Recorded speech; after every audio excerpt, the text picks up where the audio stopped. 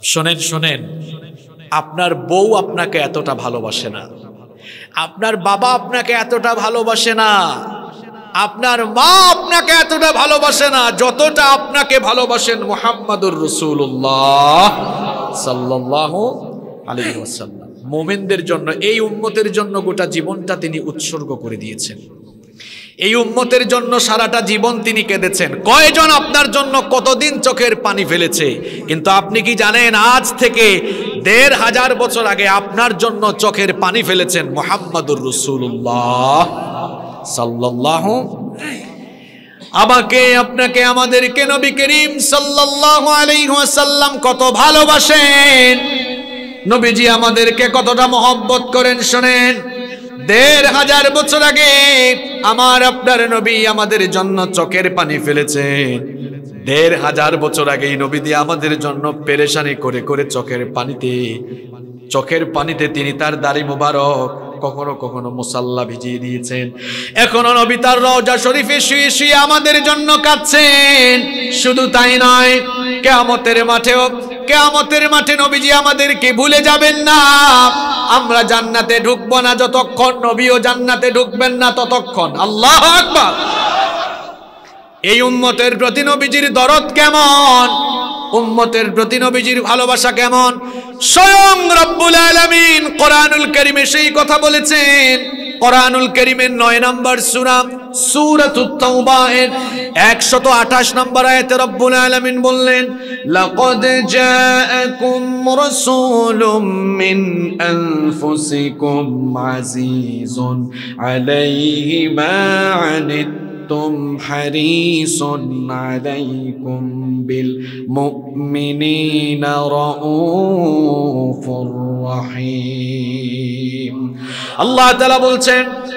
তোমাদের জন্য এমন একজন রসুল এসেছেন, তোমাদের মধ্যে, তোমাদের মধ্য থেকে তোমাদের জন্য এমন একজন রসুল আমি পাঠিয়েছি, যিনি মোমেনদের জন্য অত্যন্ত দয়াবান, তিনি উম্মতের জন্য এতটা পেরেশান। আল্লাহ তালা অন্য আয়াতে বলেছেন, আল্লাহ তালা বলছেন আল্লাহ তালা বলেছেন বাখিউ। এই উম্মতের জন্য পেরেশানি করতে করতে আপনি কি আপনার নিজেকে শেষ করে ফেলবেন নাকি? নবী করিম সাল্লাল্লাহু আলাইহি ওয়াসাল্লাম আমাদের জন্য কতটা পেরেশান ছিলেন? আমাদেরকে কতটা তিনি ভালোবাসতেন শুনেন। মুসলিম শরীফের হাদিস। হাদিস বর্ণনাকারী সাহাবীর নাম জাবের রাদিয়াল্লাহু আনহু তিনি বলছেন, নবীজি বলেছেন, মাথালি ও মাথালুকুম কামাথালি রাজুলিন আও নারা। নবীজি বলেছেন, আমার আর তোমাদের মাঝের সম্পর্কটা কেমন শোনো? উম্মত শোনো, তোমাদের সাথে আমার মহব্বতের সম্পর্কটা কেমন? এস কাকে বলে বুঝেন? নবীজি বলছেন, তোমাদের সাথে আমার সম্পর্কটা হলো এমন, ওই লোকের মতো যেই লোক কোথাও আগুন জ্বালালো কোথাও আগুন জ্বালানোর পরে সেখানে পতঙ্গমালা এবং ফরিং এসে পড়তে লাগল।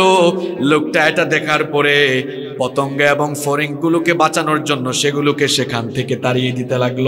নবীজি বলছেন, প্রজ্বলিত আগুন থেকে ফরিং এবং পতঙ্গমালাকে বাঁচানোর জন্য লোকটা যেমন অবিরাম প্রচেষ্টা করছে, আমিও ঠিক তেমনি আমার মায়ার উম্মতদেরকে জাহান নামের আগুন থেকে বাঁচানোর পেরেশানি করছি।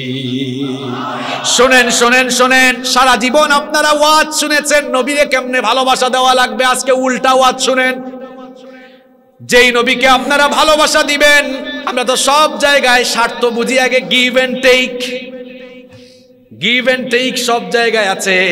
আগে বোঝা দরকার কেন নবীকে ভালোবাসবেন? নবীকে এই জন্য ভালোবাসবেন। এই দুনিয়াতে আপনাকে যিনি সবচাইতে বেশি ভালোবেসেছেন, তিনি মোহাম্মদ সাল্লাল্লাহু আপনার বাবা আপনাকে এত ভালোবাসেন না, আপনার জন্মদাতা মা আপনাকে এত ভালোবাসেন না। প্রিয়তমা বিবিও আপনাকে এত ভালোবাসেন না।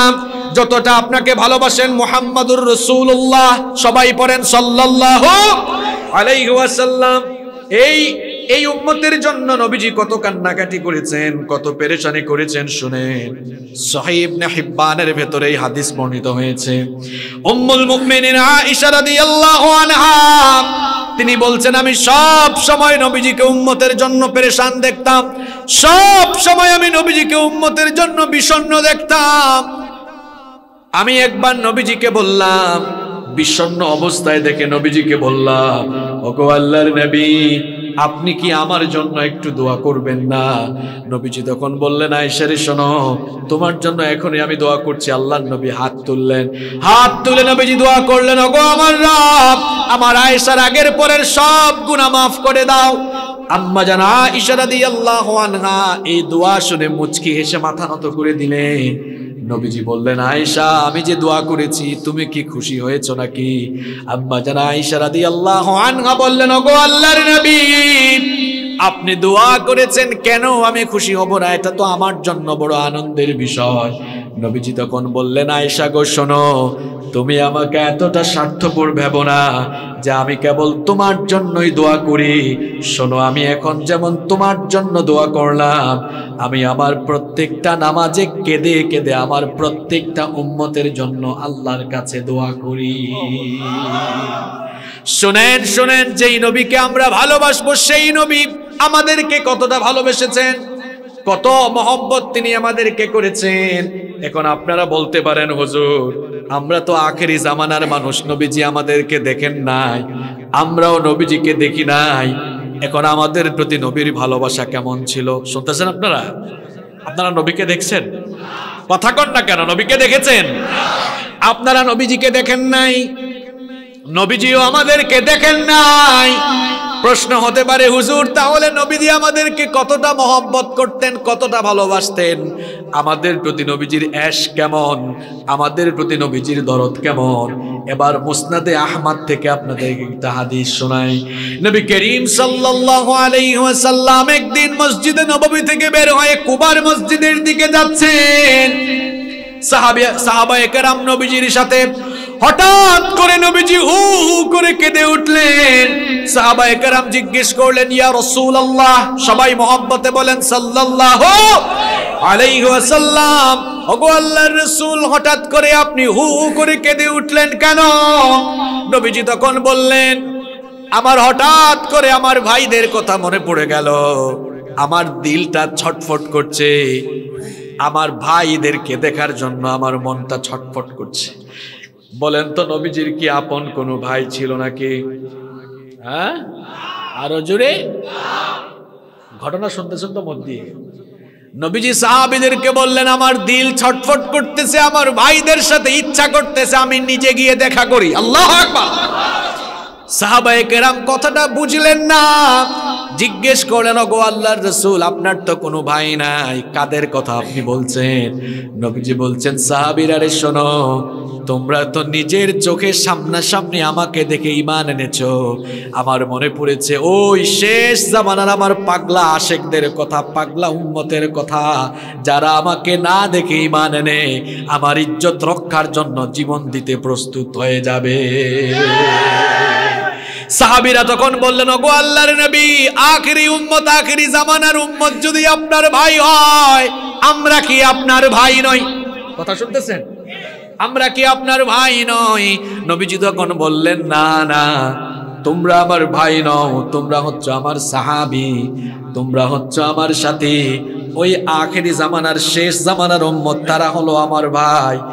আমার বাবারা, আমার ভাইয়েরা শোনেন, সেই সময়ে নবীজি সাহাবিদের চাইতে আমাদের প্রতি দরদ যদি এত বেশি দেখা থাকেন, দুনিয়ায় যদি আমাদের প্রতি নবীজির দরদ বেশি হয়, বলেন তো দেখি হাসরের মাঠে আমাদের প্রতি দরদ বেশি হবে না কম হবে? আমরা তো নবীজিকে না দেখে ইমান এনেছি এই জন্য হাসরের মাঠে নবীজির সাফায়াতের নজর যদি সাহাবিদের সময়ের লোকদের দিকে যায়, একবার আমাদের দিকে যাবে একশো বার। কারণ আমরা না দেখে ইমান এনেছি, নবীজিকে দেখি নাই। নবীজি আমাদেরকে কতটা ভালোবেসেছেন শোনেন, হাদিসে এসেছে, হাদিস শরীফের মধ্যে এসেছে, লিকুল্লি নবিয়্যিম মুস্তাজাবুদ দাওয়া। দুনিয়ার সকল পয়গাম্বার, সকল নবীদের জন্য একটা অপশন ছিল। সকল নবীকে আল্লাহ দোয়ার একটা বিশেষ সুযোগ দিয়েছেন। দুনিয়াতে সকল নবীকে আল্লাহ একটা সুযোগ দিয়েছেন। একটা দোয়া করার সুযোগ আল্লাহ সবাইকে দিয়েছেন। ওই দোয়া তারা করলে সঙ্গে সঙ্গে দোয়া যিনি কবুল করবেন, সবাই বলেন তিনি কে? আসতে সেই দোয়া দুনিয়ায় থাকাকালীন করে ফেলেছেন।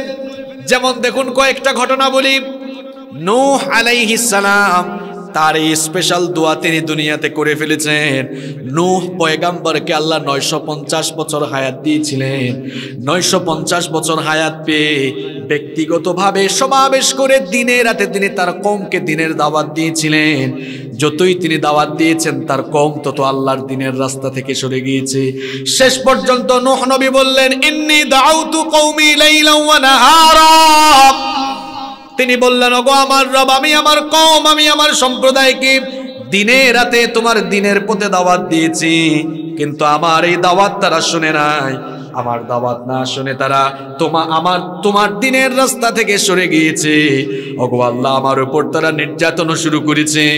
নূহ নবী তখন অতিষ্ঠ হয়ে দোয়া করলেন রব্বিলা কাফিরিনা তিনি বললেন, আল্লাহ, এই কাফেরদের বাচ্চা সুদ্ধা সবগুলারে দুনিয়া থেকে বিদায় করে দাও। নবী যদি দোয়া করেন, দোয়া কবুল করে ফেলবেন কে? নোহ নবী যখন তার উম্মতের জন্য দোয়া করে ফেললেন, আল্লাহ তালা দোয়া কবুল করে এমন গজব পাঠালেন, এমন গজব আল্লাহ দিলেন, এমন মহা এমন মহা প্লাবন আল্লাহ দিলেন, এক মহা প্লাবনে কাফেরদের আন্ডা বাচ্চা সুদ্ধা ধ্বংস করে দিয়েছেন কে? তাহলে বলেন তো গজব দেওয়ার মালিক কে? গজব থেকে বাঁচানোর মালিক কে? এই যে সামনে গজব আসতেছে সবাই আমরা বলতেছি, আমাদের প্রধানমন্ত্রীও বলছেন, গজব আসতেছে, দুর্ভিক্ষ আসতেছে। গোটা বিশ্বের নেতৃবৃন্দ বলতেছেন, সামনে দুর্ভিক্ষ আসতেছে, গজব আসতেছে। এই যে দুই বছর আগে করোনা ভাইরাস শুরু হলো, বড় বড় সংস্থাগুলো, এমনকি বিশ্ব স্বাস্থ্য সংস্থাও বলেছিল, বাংলাদেশে কম করে হইলেও দশ লক্ষ লোক মারা যাবে। এটা আমার কথা না বিবিসি সিএনএন এর রিপোর্ট ডব্লিউএইচও বলেছিল যে বাংলাদেশে কমপক্ষে দশ লক্ষ লোক মারা যাবে। এক লক্ষ মরছেনি কথা বলছেন না কেন আপনারা? বাঁচাই দিয়েছেন কে? আপনারা করোনার চেয়ে বেশি শক্তিশালী, তাই না? এই জন্য বেঁচে গেছেন আপনারা। আপনাদের চিকিৎসা ফ্রান্স, আমেরিকা, ইংল্যান্ডের চেয়ে অনেক উন্নত। তাহলে বাঁচাইছেন কে? হেফাজত করেছেন কে? এখনও বলা হচ্ছে দু হাজার তেইশ সালে দুর্ভিক্ষ আসবে। আসতে পারে। কিন্তু আমরা যদি আল্লাহর দিনের পথে থাকতে পারি, তাহলে দেখা যাবে এই বাংলাদেশে খাদ্যের কোনো অভাব হবে না ইনশাল্লাহ এই বাংলাদেশে কোনো সমস্যা হবে না ইনশাল্লাহ তবে আমাদেরকে একটু নিয়ন্ত্রণ হওয়া দরকার। আমরা যে হারে জুলুম বাড়িয়ে দিয়েছি এই রকম জুলুম চালালে এমন তমসাচ্ছন্ন অন্ধকার নেমে আসবে শুভে সাথে আর সম্ভব হবে না। এজন্য মাননীয় প্রধানমন্ত্রীকে আমরা বলব, দেশের উলামাদেরকে মুক্ত করে দেন। গজব আল্লাহ তুলে নেবেন। ওলামায়ে কেরাম, তারা কোনো চোর, ডাকাত নন, সন্ত্রাস নন, ইসলাম জঙ্গিবাদ বিশ্বাস করে না, সন্ত্রাস বিশ্বাস করে না। আমরা বলব কৌমি আলিয়া, সকল ঘরানার সকল আলেমদেরকে অচিরেই জেলখানা থেকে বের করে দেন।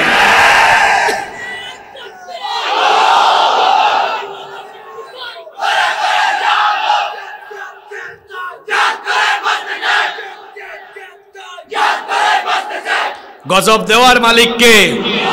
কিছুদিন আগে চিত্রাং দিয়েছেন কে? চিত্রাং থেকে আমাদেরকে বাঁচাইছেন কে? কিন্তু মাঝে মাঝে আমরা এমন কথা বলি, আল্লাহর সাথে সাংঘর্ষিক হয়ে যায়। আমরা বলি, দুর্যোগ আমরা মোকাবেলা করব। আপনার বিয়াই না? চিত্রাং কি আপনার বিয়াই লাগে? যে আপনি, এটাকে আপনারা চট্টগ্রামে কি বলেন আমার বাড়ি তো সিলেট আপনার সিলেট হয় কিতা ফাজ্জা খেলা না কি তা জানি? ভাই আল্লাহ জানে, আমি ভুলে গেছি। আপনারা কি বলেন? ওই যে হাতে হাত লাগে। মিলি গেছে, মাশাআল্লাহ। ওই যে চট্টগ্রাম আর সিলেট, এক মারপেটের দুই ভাই আর কি। পাঞ্জা খেলা। বাপ রে বাপ, দুর্যোগের সাথে দুর্যোগ মোকাবেলা করবে। আপনার বিয়াই লাগে যে আপনি পাঞ্জা খেলবেন না? হাসিয়েন না হাসাবার জন্য বলছি না। এগুলো মারাত্মক কুফরি কথা। বলা যায় এই রকম আসন্ন দুর্যোগ থেকে ক্ষয়ক্ষতি কমানোর জন্য আমরা প্রস্তুতি নিয়েছি। বাদ বাকি আল্লাহ ভরসা, আল্লাহ আমাদেরকে হেফাজত করবেন ইনশা কথার মধ্যে আদব আছে না নাই? শোনেন শোনেন, মুখ দিয়ে বিশ্বকে জয় করা যায়। মুখ দিয়ে বিশ্বকে জয় করা মুখের সুন্দর কথা থাকলে মহাগজ দেখেন তো, কথা কথা কি জিনিস? কথার নাম লতা। হ্যাঁ? ওইদিকে আইয়ুব আলাইহিস সালাম, আঠারো বছর অসুস্থ। জবান দিয়ে এমন কথা বের করেছে, খুশি হয়ে গিয়েছে কে? বলেছে, রব্বি আন্নি মাসানি ইয়াদ-দুররু ওয়া আনতা আরহামুর। ইউনুস নবী মাছের পেটে চলে গিয়েছে, এমন কথা, এমন দোয়া মুখ থেকে বের করেছে, খুশি হয়ে গিয়েছেন কে? মাছের পেট থেকে বাঁচায় দিয়েছেন কে? হ্যাঁ ঠাডা ভরার পরেও বুঝি আমাদের হুশ ফিরে না মুখের ভাষা ঠিক করা দরকার। বেশি বেশি জিকির আজকার। করা দরকার ইস্তেকভার করা দরকার, মুখের ভাষা সুন্দর করা দরকার। গুলাম মালিকের সামনে গুলামের মতোই থাকা লাগবে। এমন একটা পার্ট নেই যেন হেতে মালিক হয়ে গেছে। আমরা মোকাবেলা করব। তোমার বাপ, দাদা চোদ্দ গোষ্ঠী মিলে মোকাবেলা করতে পারবে? আল্লাহ যদি জমিনকে ধ্বংস করে দিতে চান, আল্লাহর কয়েক বছর সময় লাগবে। হ্যাঁ? একবার জলোচ্ছ্বাস উঠে দিলেই তো শেষ। সব শেষ। একটা নাড়া মারলেই তো সব শেষ ভূমিকম্প দিয়া। ভয় করতে হবে কাকে? আমি বলছিলাম, মনে আছে তো কোন জায়গায় ছিলাম? কোন জায়গায় ছিলাম বলেন তো দেখি। না না সীতারাঙ্গে না একটা হাদিসে ছিলাম না। কোন হাদিসে ছিলাম? হ্যাঁ? মাশাআল্লাহ। সব নবীকে দোয়ার একটা বিশেষ সুযোগ দেওয়া হয়েছে। সব নবীরা সেই সুযোগ দুনিয়াতে কাজে লাগিয়েছেন। নোহ নবী তার উম্মতের জন্য বদুয়া করে সেই দোয়াকে কাজে লাগিয়েছেন। ওইদিকে সুলাইমান নবী ওই দোয়াটা দুনিয়ায় করে ফেলেছেন। সুলাইমান নবী এমন দোয়া করেছেন, তিনি বললেন রব্বিক ফিরলি রব্বিক ফিরলি ওয়াহাবলি মুলকান লা আহাদিম তিনি বললেন, আল্লাহ আমাকে মাফ করো, আর আমাকে এমন ক্ষমতার মালিক বানাও, যেই রকম ক্ষমতা কেয়ামত পর্যন্ত আমার পরে আর কেউ পাবে এই দোয়া কবুল করলেন কে? এই জন্য সুলাইমান নবীকে আল্লাহ এমন ক্ষমতাওয়ালা বানালেন এই রকম ক্ষমতা আজ পর্যন্ত দুনিয়াতে কেউ পায় নাই। কেয়ামত পর্যন্ত কেউ পাবে? এই যুবকরা শোনো, সুলাইমান নবী কেমন প্রেসিডেন্ট ছিলেন জানো নাকি? সুলাইমান নবী আল্লাহর কাছ থেকে ক্ষমতা চাইয়া আনছে সুমান আল্লাহ তিনি বলেছেন, আল্লাহ এমন ক্ষমতার মালিক আমাকে বানাও যেই রকম ক্ষমতা আমার পরে কেমত পর্যন্ত আর কেউ পাবে না। আল্লাহ বললেন, সুলাইমান, আমি তোমাকে এমন ক্ষমতা দিব রে সুলাইমান, যেই রকম ক্ষমতা পাওয়া তো দূরের কথা, এই রকম ক্ষমতার কথা মানুষ কোনোদিন কল্পনাও করতে পারবে এমন ক্ষমতার মালিক আল্লাহ তাকে দিলে এমন ক্ষমতার মালিক আল্লাহ তাকে বানালেন। পিঁপড়ার ভাষা বুঝতেন পিঁপড়া। পিঁপড়া বুঝেন? অবাজি, মুখে দিক মুখ দিয়ে দেখি কথা আপনাদের হ্যাঁ? বেরোচ্ছে না একেবারে, কথা বলবেন না। মুখ দিয়ে হতা বাইর নয় হ্যাঁ? ওইব না? পিঁপড়া চিনেন, পিঁপড়া? কোরআনে কারিমে পিঁপড়ার নামে সুরা আছে, সুরার নাম সুরা পিঁপড়া। আমি বাংলা বলছি, আপনারা পারেন নাকি? সুরাত ফিল মানে হাতি। ফিল মানে পিঁপড়া মানে হলো নামাল, সুরাতু আন নামাল পিঁপড়ার নামে আল্লাহ কোরআনে সুরা দিয়েছেন, পিঁপড়ার কিচ্ছা, ওই সুরার ভেতরে আছে পিঁপড়ার কিচ্ছা যার সাথে ঘটেছে। ওই নবীর নাম কি? সুলাইমান নবী পিঁপড়ার ভাষা বুঝতেন, পাখির ভাষা বুঝতেন এমন ক্ষমতা। পাখির ভাষা বুঝতেন এমন কি বাতাস তার হুকুম মানত। শুধু মানুষ নয়, জিন জাতিকেও তিনি শাসন করেছেন। বাইতুল মোকাদ্দাস মসজিদকে আপনারা চিনেন নাকি? গেছেন নাকি আপনারা? নাম শুনছেন, তাই না? বাইতুল মুকাদ্দাস, এই মসজিদটা সুলাইমান নবী মানুষ দিয়ে নয়, জিন জাতি দিয়ে তিনি এই বাইতুল মুকাদ্দাস নির্মাণ করেছেন। আল্লাহ আকবার! এই ঘটনাও কোরআনে কেরিমে এসেছে, সুলাইমান নবীকে আল্লাহ এমন ক্ষমতার মালিক বানানেন এই রকম ক্ষমতা দুনিয়ার কেউ আর পায় না। বলেন তো দেখি, এক দেশ থেকে আরেক দেশের রাষ্ট্রপ্রধানরা যখন যায়, কিসে চড়ে যায়, কোন কোন যানবাহনে কোন বাহনে চড়ে যায়? জোরে বলেন। বিমান। বলেন তো, বিমানের মধ্যে ইঞ্জিন আছে না নাই? কটর কটর আওয়াজ আছে না নাই? শোনেন শোনেন, বাংলাদেশ থেকে যদি আমেরিকা সফরে যান, কম করে হলেও নয়, দশ ঘণ্টা সময় লাগবে। দশ বারো ঘণ্টা দশ বারো ঘণ্টা সময় আপনার লেগে যাবে। এতে প্রাইম মিনিস্টার যাক আর প্রেসিডেন্ট যাক। তিন, চার হাজার বছর আগে সুলাইমান নবী দুনিয়াতে ক্ষমতা ক্ষমতা চালিয়ে গিয়েছেন। উনি কেমনে সফর করতেন শুনেন, বিমানেও নয়, রকেটেও নয়। ওই যুগে বিজ্ঞানও ছিল না, বিজ্ঞানাগার ছিল না, বিজ্ঞানীও ছিল না। ওই যে তিনি দোয়া করছেন, আল্লাহ, এমন ক্ষমতা দাও, যে ক্ষমতা কেউ আর পাবে না। আল্লাহ বললেন, সুলাইমান, এমন ক্ষমতা দিচ্ছি, কিয়ামতের আগের যুগের মানুষরা অবাক হবে। এমন ক্ষমতা সুলাইমান পাইছে কেমনে? সুলাইমান নবীকে আল্লাহ বললেন, এমন ক্ষমতার মালিক তোমাকে বানাবো। তোমাকে আমি ইঞ্জিন ছাড়া বাহন দিয়ে চড়াবো। আল্লাহ আকবার। সুলাইমান নবী বললেন, ওগো আল্লাহ, এটা আবার কেমন বাহন? আল্লাহ বললেন, তুমি তোমার সিংহাসনে উঠে বসো। তুমি যখন সিংহাসনে উঠে বসবা, ইঞ্জিন ছাড়া বিনা আওয়াজে, বিনা ইঞ্জিনে বাতাসের মাধ্যমে বসার সঙ্গে সঙ্গে এক মাসের পথ চলে যাবা। শুধু সুবহানাল্লাহ বললে চলবে না। বলেন এই রকম ক্ষমতা দুনিয়ার কেউ পাইছে? ওই বেটা পুতিন পাইছে? হ্যাঁ জো বাইডেন পাইছে? তার বাপ দাদারা পাইছে? ভবিষ্যতে কেউ পাবে? উঠে সিংহাসনে বসেছে, আওয়াজ নাই, ইঞ্জিন নাই, বাতাসের মাধ্যমে এক মাসের পথ চলে গিয়েছে। সুবহানাল্লাহ। আবার সন্ধ্যাবেলা এক মাসের পথ ফিরেও এসেছে। আমি বলছিলাম, লিকুল্লি নবীম দাওয়াতুম মুস্তাজাবা। সকল নবীকে আল্লাহ দুয়ার একটা বিশেষ সুযোগ দিয়েছেন।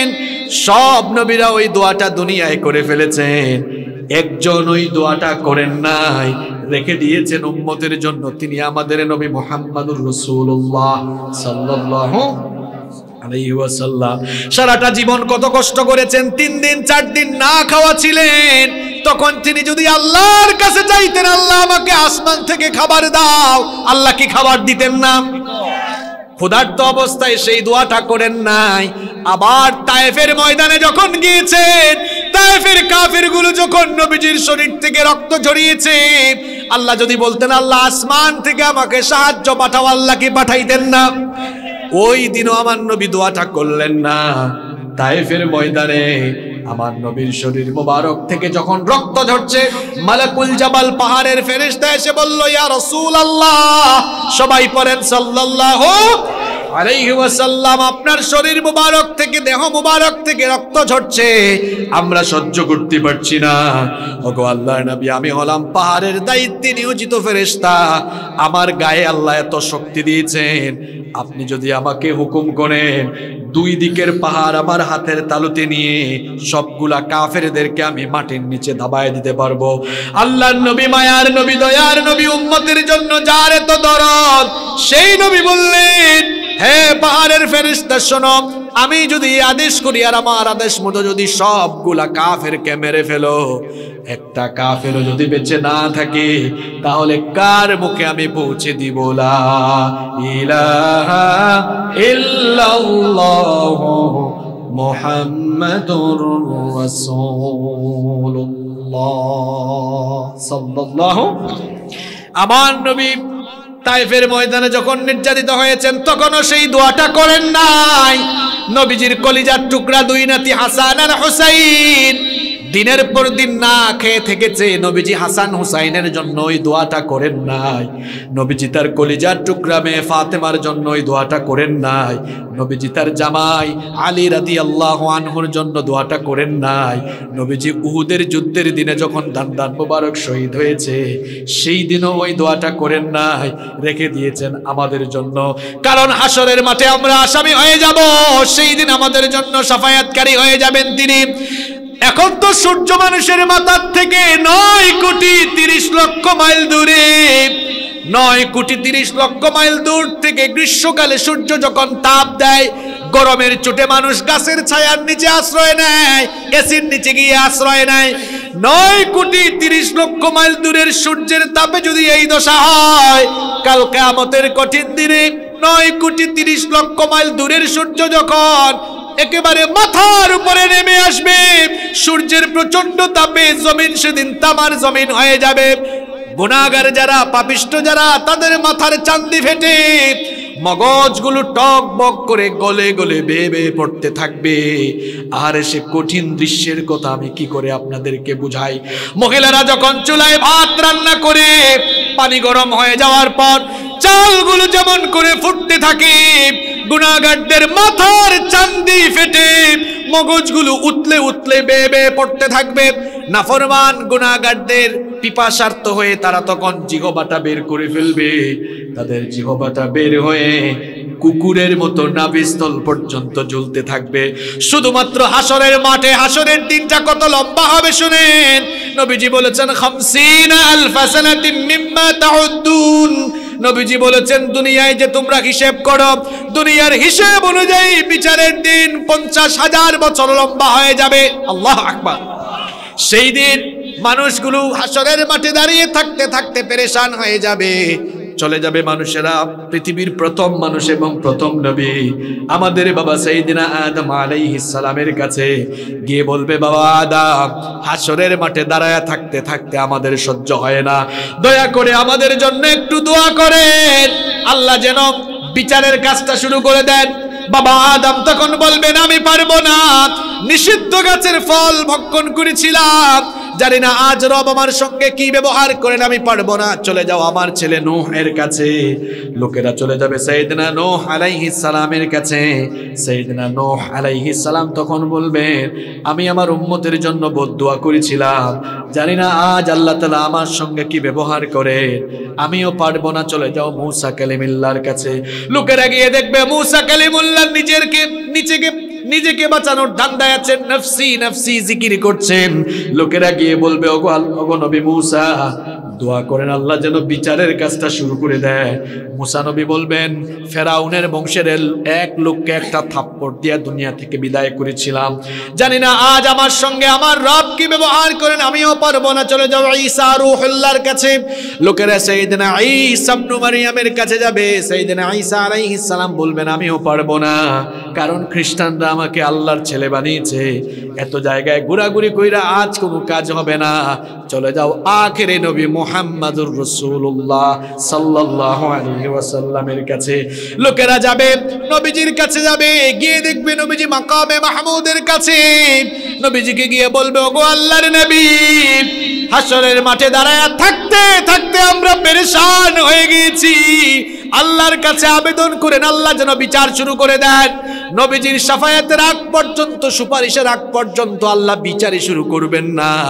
এমন সময় সাইদিনা জিব্রিল আসবেন সাইদিনা জিব্রিল এসে বলবেন ওগো আল্লাহর নবী, আপনি মাকামে মাহমুদের কাছে সাজদায় পড়ে পড়ে এত কান্না করছেন কার জন্য?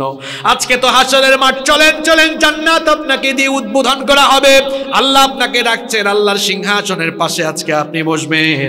নবীজি যাবেন, গিয়ে বলবেন অগো মাবুদ, তোমার সিংহাসনের পাশে যদি বসে থাকি, ওইদিকে মিজানে আর পুলসেরাতে আমার উম্মতের কি দশা হয় আমি তো জানব না। ওগো আল্লাহ, আমি তোমার পাশে বসবো না। মিজানে যাব, পুলসিরাতে যাব, আমার আটকা পড়া উম্মতদেরকে সুপারিশ করে করে তোমার কাছে নিয়ে আসব। আল্লাহ আকবার। নবীজি সাজদায় পড়ে যাবেন। নবীজি সাজদায় পড়ে যাবেন, আল্লাহ তাআলার রহমতের দরিয়ায় জোশ মারবে। আল্লাহ বলবেন, ইরফা রাসাক। নবী মাথা ওঠান সাল তুতাহু কি চাইবেন আমার কাছে চান? নবীজি তখন বলবেন, ওগো আল্লাহর নবী আল্লাহর নবী তখন বলবেন, ওগো রব, আমার একটা উম্মত, গুনাহগার উম্মত জাহান্নামে থাকবে যতক্ষণ আমারে তুমি জান্নাতে ঢুকাইতে পারবা না ততক্ষণ। আল্লাহ তখন বলবেন, হাবিব, আমি আপনাকে দুনিয়ায়ও আপনার কোনো আশা অপূর্ণ রাখি নাই। আজ হাসরের মাঠেও আমি আপনার কোনো আশা অপূর্ণ রাখব না। ওগো হাবিব, যান, আপনাকে সুযোগ দিলাম। যার মন চায় তার জন্য সুপারিশ করে তারে নিয়ে আমার জান্নাতের ভেতর ঢুকে যা। সেই নবীর সাফায়াত চাই কি চাই না?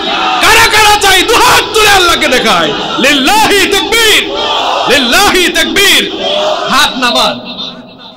আপনাদেরকে লাইনে তুলছি। নবীজির সাফায়াত আমরা সবাই চাই। এবার আসেন, সাফায়াত পাইতে হলে কি করা লাগবে? এমনি এমনি পাবেন? হাই হাই এবার তো মূল ওয়াজ শুরু হবে। তাইলে আমরা যে নবীজিকে ভালোবাসবো, নবীজি আমাদেরকে ভালোবেসেছেন, কম না বেশি। এখনও ভালোবাসেন নবীজি আমাদেরকে সব থেকে হাসরের মাঠ পর্যন্ত নবীজি আমাদেরকে ভালোবাসবেন সবচাইতে। এবার নবীজির সুপারিশ পাইতে হলে কি করতে হবে? নবীজিকে ভালোবাসতে।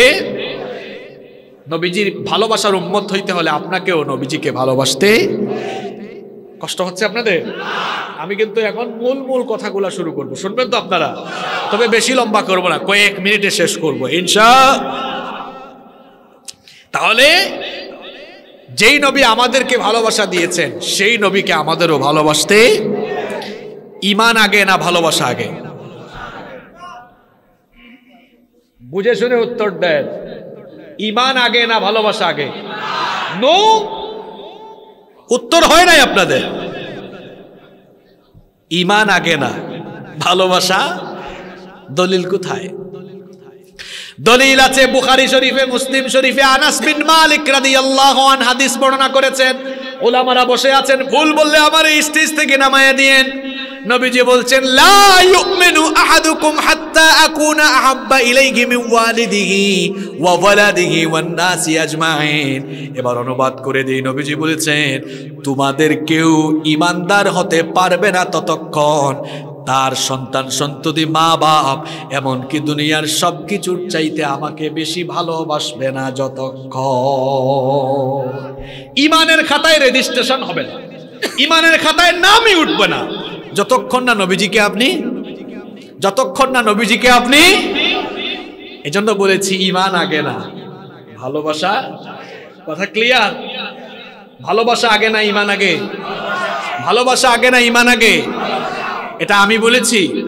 বলেছেন মোহাম্মদুর রসুল্লাহ সাল্লাহ ইমান আনার আগেই নিজের জীবনটা নবীজির জন্য উৎসর্গ করে দেওয়া লাগবে। এই জন্য রব্বুল আলামিন কোরআনুল কারীমের 33 নম্বর সূরা, সূরাতুল আহজাবের 6 নম্বর আয়াতে বলেছেন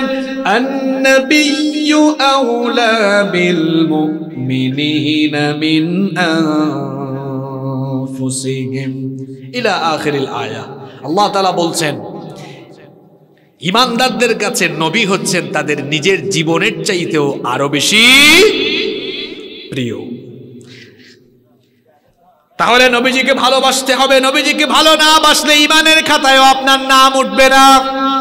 এমনকি আল্লাহর ভালোবাসা আমরা সবাই চাই, বলেন তো সবাই, আল্লাহর রহমত আল্লাহর ভালোবাসা চাই কি চাই না? আল্লাহর রহমত আল্লাহর ভালোবাসা পাইতে হলে নবীকে ভালোবেসে নবীজিকে অনুসরণ করা লাগবে, নইলে আপনি আল্লাহর রহমতও পাবেন না। এই জন্য আল্লাহ তাআলা কোরআনে বলেছেন, কুল ইন কুনতুম তুহিব্বুনাল্লাহা فاتبعوني يحببكم الله ويغفر لكم ذنوبكم والله غفور رحيم আল্লাহ তাআলা বলছেন হে নবী আপনি বলে দিন তোমরা যদি আল্লাহকে ভালোবাসতে চাও তোমরা যদি আল্লাহকে ভালোবাসতে চাও আল্লাহকে ভালোবাসার আগে ফাত্তাবিউনি আমাকে ভালোবেসে আগে আমার অনুসরণ করো। আমাকে ভালোবেসে যদি আমাকে অনুসরণ করো, তোমরা আল্লাহকে ভালোবাসা লাগবে না। ইয়াহবিবকুমুল্লাহ, আল্লাহ তালা নিজেই তোমাদেরকে ভালোবাসবে। আর আল্লাহ যখন তোমাদেরকে ভালোবাসবেন, তখন কি করবেন? শোনো শোনো। ওয়ায়াগফির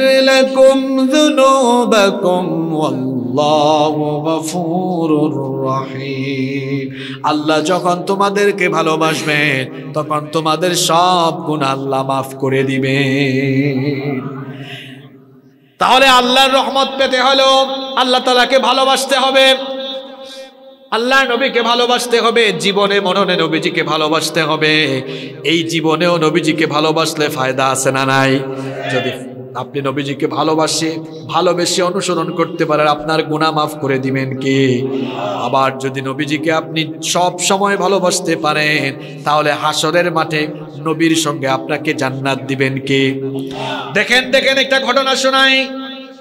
আনাস বিন মালিক রাদিয়াল্লাহু আন, মুসনাদে আহমদ এই হাদিস বর্ণিত হয়েছে। তিনি বলছেন, আন্না রাজুলান কল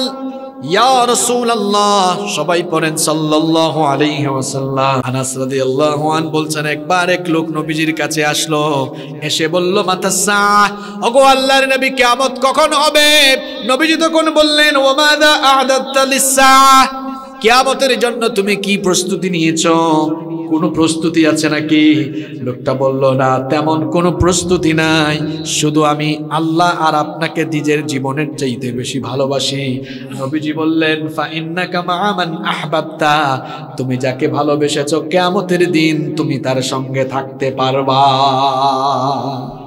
তাহলে বোঝা গেল নবীজিকে ভালোবাসলে দুনিয়ায়ও লাভ, আখেরাতেও এবার প্রশ্ন হচ্ছে, হুজুর ভালোবাসবোটা কেমনে? রবিউল আউয়াল মাস আসলে সারা মাস জিলাপি খাইয়া, বিরিয়ানি খাইয়া ভালোবাসা দেখাবো? এর নাম ভালোবাসা? না না না না না না না। এই ভাই, আগে কথা বলবেন না। বলছি না, আমি মূল মূল কথাগুলো এখন শুরু করব। আক্রমণাত্মক কথা বলা আমার নিজের পছন্দ। আপনি কথা বলবেন, বুঝার কথা, যাতে করে আপনাকে দুশ্মন ভাবে এমন লোক যেন আপনাকে বুঝে, আপনার আদর্শ, আদর্শে প্রভাবিত হয়ে সেও যেন আপনার পথে চলে আসে। এমনটাই হওয়া উচিত। আল্লাহ আমাদেরকে বুঝার তৌফিক দান করুন। ভাইয়েরা, শুনতেছেন আপনারা? যুবকরা, তোমরা ভালো করে শোনো। শোনো শোনো। আজকে এমন ওয়াজ শুনবা, যে যে ওয়াজ জীবনেও শোনো নাই। ভালো করে শোনো। যুবকরা ভালো করে শোনো। বাবাদেরকে তো তুমি করে বলতেছি না। আপনারা তো আমার বাবার বয়সী। আমার বাবারা, ঘুম পাইতেছে আপনাদের? কেউ কেউ ঝিমাইতেছে দেখি যুবকরা একটা তাকবির দিয়ে বাবাদের ঘুম ছোটায় দাও। লিল্লাহি তাকবীর। তোমরা বিয়ে শাদী করো নাই বিয়ে শাদীর আগে যে স্লোগানটা দিলে এটা তো লজ্জা লাগতেছে আমার। হ্যাঁ বিয়ের আগে যদি তোমাদের এনার্জির অবস্থা এরকম হয়। দেখি তো বিবাহিতদের অবস্থা কেমন? নারে তাকবীর। নারে তাকবীর। ঠিক আছে, ঘুম চলে গেছে অনেকের। এবার শোনেন, তাহলে নবীজিকে ভালোবাসতে হবে। নবীজিকে ভালোবাসা এটা ইমানের প্রশ্ন হলো, নবীজিকে ভালোবাসবো কেমনে? ভালোবাসার নমুনা কেমন হবে? ভালোবাসার দাবিটা কেমন হবে? বেশি না। আজকে মাত্র ছয়টা পয়েন্ট এখান থেকে মুখস্থ করে তারপরে বাড়িতে দিব। কয়টা? এই ছয়টা আমল যার ভিতরে আছে, বুঝতে হবে নবীর এশক তার ভিতরে আর এই ছয়টার কোনোটা যার ভেতরে নাই, বুঝতে হবে, এটা আশেকেরা জুল না এটা একটা খাঁটি ভণ্ড কয়টা পয়েন্ট? কয়টা? আরও জোরে। কয়টা? তাইলে নবীজিকে ভালোবাসতে হলে কয়টা কাজ করতে হবে? রেডি রেডি সবাই রেডি মুখস্থ করা যাবে তো ছয়টা? শুরু হচ্ছে নাম্বার ওয়ান রেডি সবাই? নবীজিকে ভালোবাসতে হলে নবীজির জীবন স্টাডি করতে হবে। এক নাম্বার, নবীজির কি করতে হবে? আচ্ছা বলেন তো দেখি। জানাশোনা ছাড়া কি একজন আরেকজনের মধ্যে মহব্বত সৃষ্টি হয়। আমি আপনাকে চিনিও না, জানিও না, আপনার কিচ্ছু। আপনার সঙ্গে আমার মহব্বত হবে? মহব্বতটা হবে তখন এশকটা বাড়বে তখন, গভীরতা হবে তখন, যখন দুজনের জানাশোনাটা বেশি ভালো হবে। তাইলে নবীজিকে ভালোবাসা বা নবীজির প্রতি এশক বাড়বে তখন, নবীজির ব্যাপারে জানব? আমি হাত তুলাইয়া আপনাদেরকে লজ্জা দিব না, কেউ হাত তুলবেন না। আমি যদি এখন প্রশ্ন করি, আমরা যারা নিজেদেরকে আশেকে রসুল বলি, সম্মানিত আশেকে রসুল ভাইয়েরা, আমরা যেই নবীকে এত ভালোবাসি দাবি করি, ওই নবীর জীবন, জীবনে একবার হইলেও পড়ছি, এরকম কে কে আছি? আমার মনে হয়, না, আমি আমি জবাব দিতে বলি নাই। আমার মনে হয়, একশোর মধ্যে নব্বইটার বেশি হাত উঠবে যে আমরা একবারও আচ্ছা বলেন তো, যে ব্যক্তি নবীজির জীবন একবারও পড়ে নাই, হে এশকের কি বুঝবে? এ শূন্যতের কি বুঝবে? নবী কেমনে কথা বলতেন? নবী কেমনে ঘুমাইতেন? নবী কেমনে খাইতেন? নবী কেমনে চলতেন? চলনে, বলনে, শুইতে, বসতে, হাঁটতে, কথা বলতে, খাইতে, সব জায়গায় নবীজির চরিত্রকে অনুসরণ করতে হলে নবীজির ব্যাপারে আগে কি করতে হবে?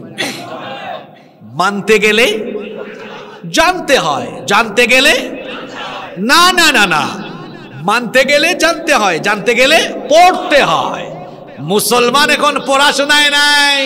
হায় হায় হায়, মুসলমান এখন খালি মিছিল আর বিরিয়ানি খাওয়ার দাম দেয়, পড়াশোনায় নাই। যদি পড়াশোনা করত, মিলাদ আর সিরাত নিয়ে মুসলমান ঠেলাঠেলি করতো না। কারণ একজন মানুষের জীবনী শুরু হয় মিলাদ থেকে, মিনাল মিলাদি ইলাল ওয়াফাতি। জন্ম থেকে মৃত্যু পর্যন্ত পুরাটাকে কি বলা হয়? আরবিতে সিরাত বলে। আমি অবাক লাগে। বাংলাদেশে যে পরিমাণ কি লাকিলে এটা কোন দেশে? কয় তুই সিরাত বলস কেন? আমি মিলাদি তুই সিরাতি। যুবকরা শোনো, তোমরা তো সচেতন ভাই। আচ্ছা তোমরা আমাকে বলো তো, জবাব দাও। যুবকরা বলো, মিলাদ এটা বাংলা শব্দ? বলো, ইটস এন অ্যারাবিক ওয়ার্ড। এটা আরবি শব্দ। তোমাদের মাথা যেন কেউ খাইতে না পারে, আমি বুঝাই দিচ্ছি। আমার কথা বিশ্বাস না হলে তোমরা পড়াশোনা করবে এই যে উলামারা বসে আছেন, মিলাদ এন অ্যারাবিক ওয়ার্ড এটা আরবি শব্দ। বাংলা অভিধান খুলে দেখো, আরবি অভিধান খুলে দেখো। মিলাদ, এর বাংলা অর্থ হলো জন্ম। এবার আসেন সিরাত, আরবি শব্দ। এটার অর্থ হলো, জীবনে তোমরা ইংরেজিতে বলো না, যুবকরা, ছাত্ররা, বায়োগ্রাফি। বায়োগ্রাফি বায়োগ্রাফিকে আরবিতে কি বলা হয়? তাহলে কথা ক্লিয়ার আচ্ছা। মনে করো, ছাত্ররা বলো, পরীক্ষায় প্রশ্ন আসছে, বাংলাদেশের স্বাধীনতার স্থপতি, মরহুম বঙ্গবন্ধু শেখ মুজিবুর রহমান সাহেবের জীবনী সংক্ষেপে লেখো। পরীক্ষা এরকম প্রশ্ন আসে না? আচ্ছা আমরা যখন কারও জীবনী লেখা শুরু করি, বিয়ে শাদী থেকে লেখা শুরু করি, না জন্ম থেকে শুরু করি? মৃত্যু থেকে শুরু করি, না জন্ম থেকে শুরু করি?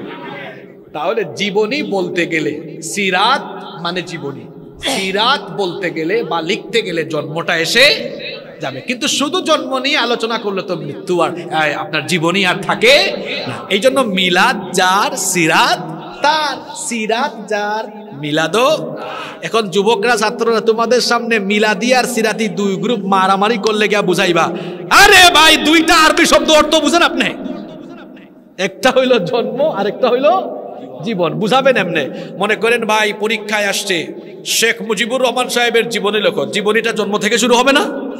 তাহলে মনে করেন রসুল্লাহ সাল্লাল্লাহু আলাইহি ওয়াসাল্লামের জীবনী আমরা যখন শুরু করব, তখন কি ওনার মিলাদ জন্ম বাদ দিয়ে শুরু করব? ওনার জন্ম থেকেই তো আমরা আলোচনা করি। জন্মের কথা বলিও। কিন্তু না, আমরা এটা নিয়ে মারামারি করলাম। শোনেন শোনেন, আমরা হুজুররা হুজুরদের সাথে যে কিলাকিলি করি, আমরা যদি সব হুজুররা আমাদের ভক্তদেরকে বলতাম, সম্মানিত ভাইয়েরা, সম্মানিত আশেক রসুলরা, সবাই নবীজির জীবনী বেশি বেশি পড়বেন, নবীজির জীবনী গিফট করবেন। তাইলে দেখতেন আমাদের ভক্তরাও এত ঠেলাঠেলি করতো। এই রবিউল আউয়াল মাস গেল, আমরা যে পরিমাণ গরু জবাই করছি, যে পরিমাণ জিলাপি খাইছি, আমরা যদি এই পরিমাণ টাকার কিতাবাদি কিনতাম। নবীজির জীবনী সুন্দর সুন্দর পাওয়া যায় না? কিনে যদি মানুষকে গিফট করতাম, তাহলে নবীজির জীবনী মানুষ আরও বেশি জানতো। আমার নবীর জীবনী জানতে হলে তো পড়তে হবে। আমার যুবকগুলো আশেক রসুল হইতে চায়। আশেক রসুল হইতে চাই না আমরা? এখন নবীজি কাপড় কেমনে পড়তেন কোথায় পড়তেন কতটুকু কাপড় পরতেন? এটা আমরা জানতে হলে সরাসরি নবীর জীবনী পড়া দরকার না। আমার নবী খাইতেন কেমনে? কথা বলতেন কেমনে? ঘুমাইতেন কেমনে? সকালবেলা করতেন কি? দুপুরে করতেন কি? সন্ধ্যাবেলা করতেন কি? এগুলো জানতে হলে নবীজির জীবনী পড়ার দরকার আছে না? হায় হায় হায় আমরা এখনও নবীজির জীবনী পড়লাম না। এরা কি করছে জানেন? অমুসলিমরা নবীজির জীবনী পড়ে ফেলেছে। শোনেন, কয়েকজন খ্যাতিমান লোকের কথা বলে মহাত্মা গান্ধীর নাম শুনছেন আপনারা? খুব বড় মুসলমান, তাই না? কে? Who is Mahatma Gandhi? Father of India যাকে মানে ফাদার অফ ইন্ডিয়া বলা হয়, ব্রিটিশ খেদাও আন্দোলনের অন্যতম পুরোধা তিনি ছিলেন। লোকটা জাতে কি? জোরে বলতে হবে, ওই পেছন থেকে আওয়াজ আসতে হবে। লোকটা যাতে কি? এই লোকটা নবীজির জীবনী পড়েছে। এখন ইন্টারনেটের যুগ, গুগলে সার্চ করবেন। The comment of Mahatma Gandhi about prophet Muhammad সাল্লাহ সাল্লাম চলে আসবে। এই লোকটা নবীজির জীবনী পড়ে কি বলেছে জানেন? কয়, এতদিন জানতাম, লোকমুখ, আমি লোকমুখে শুনতাম যে পৃথিবীতে ইসলাম নাকি তরবারে দিয়ে এসেছে। না, এটা ভুল। আমি মোহাম্মদ সাল্লাহ সাল্লামের জীবনী পড়েছি জীবনী পড়ে আমি যা বুঝেছি সেটা হলো এই, Islam didn't come through the sword in this world পৃথিবীতে ইসলাম তরবারি দিয়ে আসে নাই। এই পৃথিবীতে ইসলামের আদর্শ বিজয়ী হয়েছে মোহাম্মদুর রসুল্লাহর চারিত্রিক সুভাষ দিয়ে। সুবহানাল্লাহ। এই কথা কোনো মুসলমান বলছে? কে বলেছে? এক হিন্দু। আপনার কি একটু লজ্জা লাগে না আপনার? আপনার নবীর জীবনী আপনি নিজেকে আশেক রসুল বলেন, একবারও পড়েন নাই, বেটা হিন্দু, সে নবীর পুরা জীবনী পড়ে ফেলেছে। লজ্জা লাগে না আপনার? ওই বেটা বৌদ্ধ কি করছে? শুন- শোনেন সা- ছোটখাটো বৌদ্ধ না। বৌদ্ধদের ধর্মীয় গুরু প্রধান নেতা, দালাই লামা। নাম শুনছেন আপনারা? এই দালাই লামা নবীজির পুরা জীবনী পড়েছে। সে নবীজির জীবনী পড়ে অভিভূত হয়েছে। সে তখন বলেছে prophet Muhammad is the best example for the entire humanity সে বলেছে, নবী মোহাম্মদ সাল্লাল্লাহু আলাইহি ওয়াসাল্লাম, তিনি হচ্ছেন গোটা দুনিয়ার সকল মানুষের জন্য সর্বোত্তম, অনুপম দৃষ্টান্ত। সুবহানাল্লাহ। সে আরও বলেছে we should follow the path with showed by the prophet Muhammad to get global peace আমরা যদি শান্তিময় পৃথিবী পাইতে চাই, তাহলে আমাদের উচিত ওই নবী মোহাম্মদুর রসুল্লাহ সাল্লাহ আলাইহাসাল্লাম যে পথ দেখায় গেছেন, ওই পথের অনুসরণ করা, ওই পথের অনুসরণ করলেই শান্তি মিলবে। হ্যাঁ আমরা শুধু সুবান আল্লাহ কইতে জানি, কিন্তু নবীর জীবনী পড়তে জানি না আমরা। আর ওই বেটা খ্রিস্টান কি করছে? বললাম তো হিন্দু আর বুদ্ধের কথা। মাইকেল এইচ হার্ট, তার একটা বই গোটা পৃথিবীতে পরিচিত, দি হান্ড্রেড, বিশ্বের একশো শ্রেষ্ঠ মনীষী জীবনী। সেখানে সে অ্যাডাম, অর্থাৎ আদাম আলাইহিসালাম জুসেফ মানে ইউসিফ আলাইহিসালাম আব্রাহাম, ইব্রাহিম আলাইহিসালাম জেসাস ক্রাইস্ট, অর্থাৎ যিশু খ্রিস্ট আমরা, যাকে ঈসা আলাইহিসালাম বলি। এদের জীবনী এনেছে। শুধু তাই নয়, Isaac Newton, Benjamin Franklin, Dalai Lama এদের জীবনী এনেছে। লোকটা যাতে খ্রিস্টান। উচিত ছিল যে এই একশো জনের জীবনী উল্লেখ করছে, সবার উপরে সে যিশু খ্রিস্ট, অর্থাৎ ঈসা আলাইসাল্লামের জীবনীটা লেখা, এটাই উচিত ছিল। কিন্তু মজার ব্যাপার হলো সে সবার উপরে যার নাম লিখেছে তিনি মোহাম্মদুর রসুল্লাহ সাল্লাহ লোকটা খ্রিস্টান হইয়া যে কামটা করছে, এখন খ্রিস্টানটা খুশি না বেজার? অবাজি, কথা বলেন, খুশি না বেজার? বেজার। খ্রিস্টানটা তখন বলল, মাইকেল এই ছাড়, এটা কোনো কামের কাম করল? একজন খ্রিস্টান হইয়া মুসলমান ধর্মের নবীর নাম উপরে লেখছে, এটা কোনো কামের কাম করছে? মাইকেল এই ছাড় তাদের সমালোচনার জবাব দিয়ে বললেন, শোনো শোনো, তোমরা যারা না বুঝে আমার সমালোচনা করছ, শোনো! ওনার নাম এমনি এমনি উপরে উঠাই নাই সিরিয়ালে প্রথম রাখি নাই। He was the only man in history he was the only man in history who was supremely successful on both the religious and secular level আমি যার নাম উপরে লিখছি উনি কে চেনো চেনো? উনি হচ্ছেন এই দুনিয়ার একমাত্র ব্যক্তি যিনি ধর্মীয় জাগতিক সকল ক্ষেত্রে সমান তালে সফলতার দৃষ্টান্ত রেখেছেন। আল্লাহ আকবার। এতটুকু বলেই শেষ করে নাই সে আরও বলেছে সে আরও বলেছে he was an undisputed leader in this world সে বলেছে, যাকে নিয়ে এত সমালোচনা করছ, যার নাম উপরে লেখার কারণে উনার জীবনী পড়ো বইরা দেখো, উনি হচ্ছেন এই পৃথিবীর একজন অবিসম্বাদিত নেতা।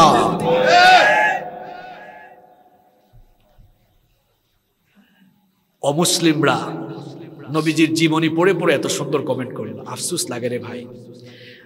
আফসোস লাগে। আমরা কলেজে পড়ি, বিশ্ববিদ্যালয়ে পড়ি। আমরা অনেকে মাস্টার ডিগ্রি শেষ করে ফেলেছি পিএইচডি শেষ করে ফেলেছি। শত শত বই পড়েছি আমরা। হাজার হাজার কিতাব পড়েছি, লক্ষ লক্ষ পৃষ্ঠা আমরা উল্টাইছি পড়েছি। কিন্তু আমরা অনেক মুসলমান আছি। নবীজির জীবনী জানার জন্য ছোট্ট একটা বই কিনে আমরা কিছু পেজ উল্টাইয়া নবীজির জীবনী পড়তে পারি নাই। আফসুস লাগে। আসুন, আমরা আজকের এই মাহফিল থেকে সিদ্ধান্ত নেই। আন্দর কিল্লায় যান না আপনারা?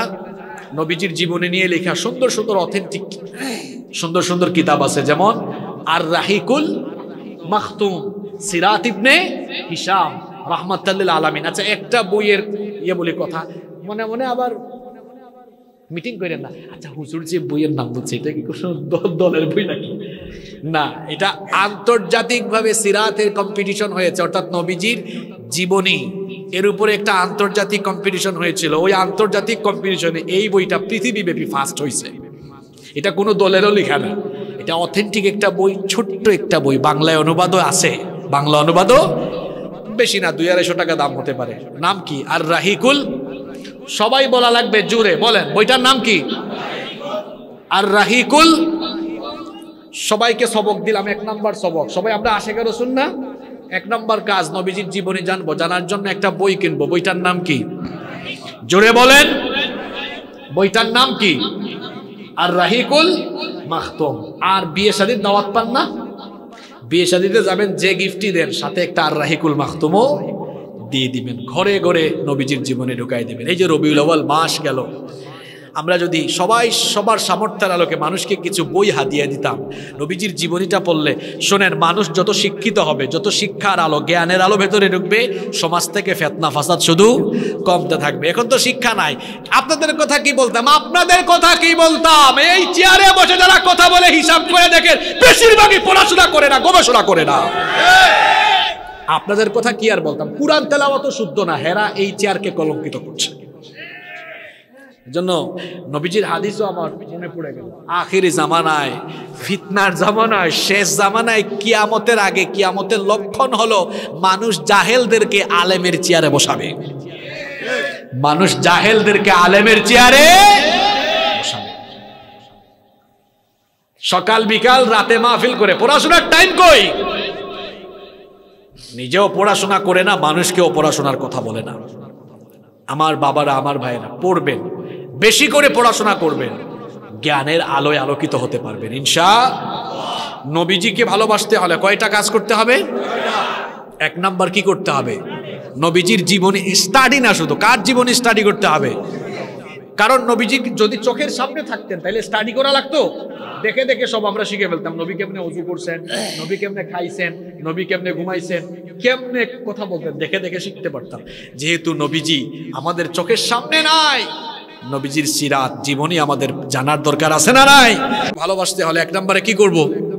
নবীজির জীবনী আমরা হিংসা আসেন, দুই নম্বর সবক। আচ্ছা বলেন তো, যে যাকে ভালোবাসে তার কথা তার বেশি মনে? তাই না? মনে করেন আপনার স্ত্রীকে আপনি খুব ভালোবাসেন, তাহলে সকাল, সন্ধ্যায়, দিনে, রাতে মনে পড়বে না? এখন আমরা যদি বলি, আমরা নবীজিকে খুব ভালোবাসি, তাহলে আপনারও নবীজিকে বেশি বেশি স্মরণ করা লাগবে। আর নবীজিকে স্মরণ করলেই একটা প্রক্রিয়া আল্লাহ শিখাইছেন, নবীর উপর কি পড়তে হবে? দুরুদকে গলার মালা বানিয়ে ফেলতে হবে, বেশি বেশি দুরুদ পড়তে হবে। বেশি বেশি আপনারা দুরুদ পড়বেন বেশি বেশি দুরুদ পড়বেন। দুরুদ হচ্ছে সবচাইতে লাভজনক আমল। নবীজি বলেছেন, আমার নাম শোনার পরে যে আমার উপরে দুরুদ পড়ে না, সেই লোকটা হলো দুনিয়ার সবচেয়ে বড় বখিল, সবচেয়ে বড় কিপটা আবার নবীজি বলেছেন, যে ব্যক্তি আমার নাম শোনার পরে আমার উপরে দুরুদ পড়ে না, ওই লোকটার জন্য লানত ওই লোকটার নাক ধুলাই দূষরিত হয়ে যাক। নবীজি তাদের জন্য বদুয়া করেছে। তাহলে নবীজির বদুয়া থেকে বাঁচার জন্য আর নবীজির প্রতি ভালোবাসা এশক। বৃদ্ধি করার জন্য বেশি বেশি নবীর উপরে দুরুদ পড়ার দরকার আছে না নাই? দুরুদ পড়লে দুনিয়ায় যেমন লাভ, আখেরাতেও তেমন লাভ আছে না নাই? এবার শুনেন দুরুদের কয়েকটা ফায়দা আপনাদেরকে শোনাই। দুরুদের তিনটা ফায়দা এখন আপনাদেরকে শোনাবো জোরে কন, কয়টা? আরও জোরে। কয়টা? নবীজি বলেছেন, মান সাল্লা আলাইয়া সালাতান ওয়াহিদা। সাল্লাল্লাহু আলাইহি আশরু সালাওয়াত। নবীজি বলেছেন, যে ব্যক্তি আমার উপরে মাত্র একবার দুরুদ পড়বে দুরুদ পড়বে মাত্র একবার। আর আল্লাহ তার উপরে রহমত নাজিল করবেন দশ বার। তাহলে দুরুদের এক নম্বর ফায়দা হলো দুরুদ পড়বেন নবীর উপরে একবার, সাথে সাথে আল্লাহ রহমত নাজিল করবেন কয়বার। দুই নম্বর ফায়দা হলো নবীজি বলেছেন, যখন কোনো বান্দা দুরুদ পড়বে একবার, আল্লাহ তাআলা আমলের খাতা থেকে সঙ্গে সঙ্গে দশটা সগিরা গুণা কেটে ফেলবেন। দূরত পড়বেন একবার। গুনার খাতা থেকে আল্লাহ গুণা কাটবেন কয়টা? আরও জুড়ে বলেন কয়টা? মুখস্থ করে ফেলেন এক নম্বরে, বলেছিলাম, নবীজির উপর দুরুদ পড়বেন একবার, আল্লাহ আপনার উপর রহমত নাজিল করবেন কয়বার? নবীজির উপর দুরুদ পড়বেন একবার, দুই নম্বরে বলছি, নবীজির উপর দুরুদ পড়বেন একবার। সঙ্গে সঙ্গে আমলের খাতা থেকে দশটা সগিরা গুণা কেটে ফেলবেন কে? তিন নম্বর হলো, ওয়ারফিআত লাহু আশরু দারাজাত নবীর উপরে যখন একবার দরুদ পড়বেন, আল্লাহ সঙ্গে সঙ্গে আপনার দশটা মর্যাদা বৃদ্ধি করে দিবে। দুরুদ পড়লে দুনিয়ায় যেমন লাভ লাভ আছে, নবীজি বলেছেন, ইন্না আউলান নাসি বি ইয়াউমাল কিয়ামাহ আকতারুহুম আলাইয়া সালাহ নবীজি বলেছেন, তোমরা দুনিয়াতে যারা আমার উপর বেশি বেশি দুরুদ পড়বা, কিয়ামতের দিন তারা তত বেশি আমার কাছাকাছি থাকবা। তাহলে নবীজিকে ভালোবাসার দুই নাম্বার নমুনা হলো নবীজির কথা বেশি বেশি মনে করে নবীজির উপর কি পড়া? আসতে বলবেন না জুড়ে বলেন কি পড়া? তিন নাম্বার নবীজিকে ভালোবাসবেন, ভালোবাসতে হবে আপনার নিজের মতো না। ভালোবাসতে হবে সাহাবিদের মতো, জোরে কোন কার মতো? বলেন তো আমরা বড় আশেকে রসুল না সাহাবিরা বড় আশেক রসুল? আপনি তো নবীর আশেক হইয়া শুধু রবিউল আউয়াল মাসে অ্যাশক দেখান। নবীরে গালিগালাজ করা হয়, বাইর হন না। নবীর আদর্শ বিদায় হয়ে যায়। নবীর আদর্শ ধারণ করে যারা জেলখানায়, তাদের পক্ষে কথাও বলেন না। কি জাতের আশেকে রসুল আপনি? আর সাহাবিরা এমন আশেক রসুল ছিলেন। আল্লাহর নবীর আদর্শ প্রতিষ্ঠার জন্য জিহাদের ময়দানে কল্লা কাটায়া দিয়েছে। এরা হচ্ছে সত্যিকারের আশেকে রসুল। এবার আসেন সাহাবিরা কেমন? আশেকে রসুল ছিলেন। আবু সুফিয়ান তখনও ইসলাম কবুল করে নেয়। দুই তিনটা কিচ্চা বলব। শুনতেছেন আপনারা? বড় সড়ো কিচ্চা না, ছোট ছোট কিচ্চা খেয়াল আছে খেয়াল আছে? দেখেন, সাহাবিরা নবীজিকে ভালোবাসাটা দিছে কেমনে? শোনেন, আবু সুফিয়ান ইসলাম কবুল করে নেয়, তখনও কাফের। একদিন নবীজির খেদমতে আসছে। আসার পরে এমন কিছু দেখছে, দেখার পরে কাফেরদের মিটিংয়ে গিয়া কয়, শোনো এদের বিরুদ্ধে আমরা কেমনে পারব বলো? এদের কাছে অস্ত্র শস্ত্র নাই। এরা সংখ্যায় কম। এরপরেও এদের সাথে পারি না কেন জানো?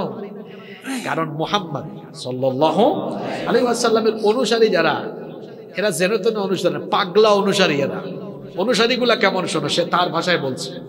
মা রাআইতু মিনান নাসি আহাদান ইউহিব্বু আহাদান আসহাবি মুহাম্মাদিন সাল্লাল্লাহু আলাইহি ওয়াসাল্লাম মুহাম্মাদা।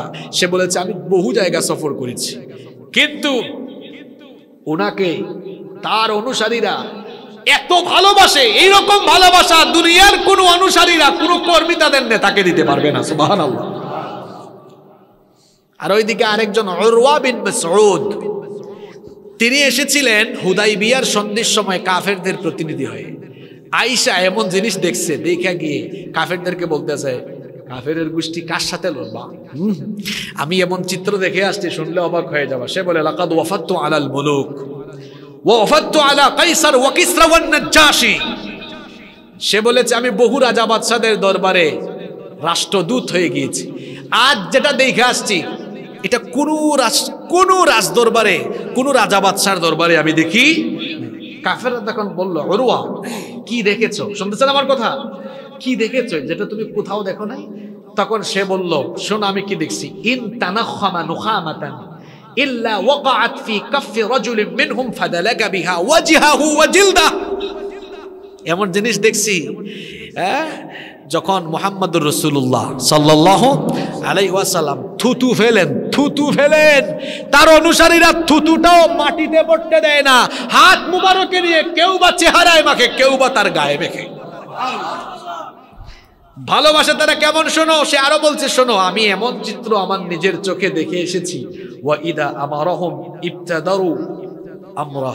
যখনই তিনি তাদেরকে কোনো আদেশ দেন, তারা সব ভুলে গিয়ে নবীর আদেশ আগে পালন কেমন আদেশ পালন শুনেন?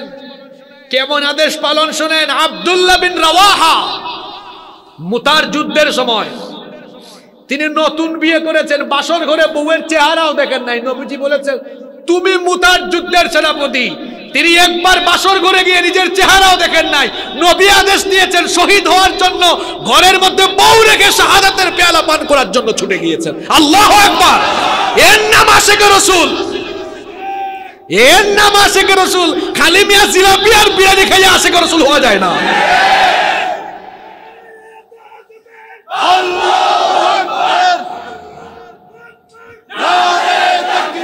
আমার নেতা তোমার নেতা বিশ্বনবী মুস্তাফা বিশ্বনবী মুস্তাফা আমার নেতা তোমার নেতা জিহাদ জিহাদ জিহাদ জিহাদ জিহাদ করে বাঁচতে চাই নবী মুদের শিখিয়ে গেছে জিহাদ করে বাঁচতে হবে নবী এসেছিলেন এই দুনিয়াতে আল্লাহর বিধান কায়েমের জন্য।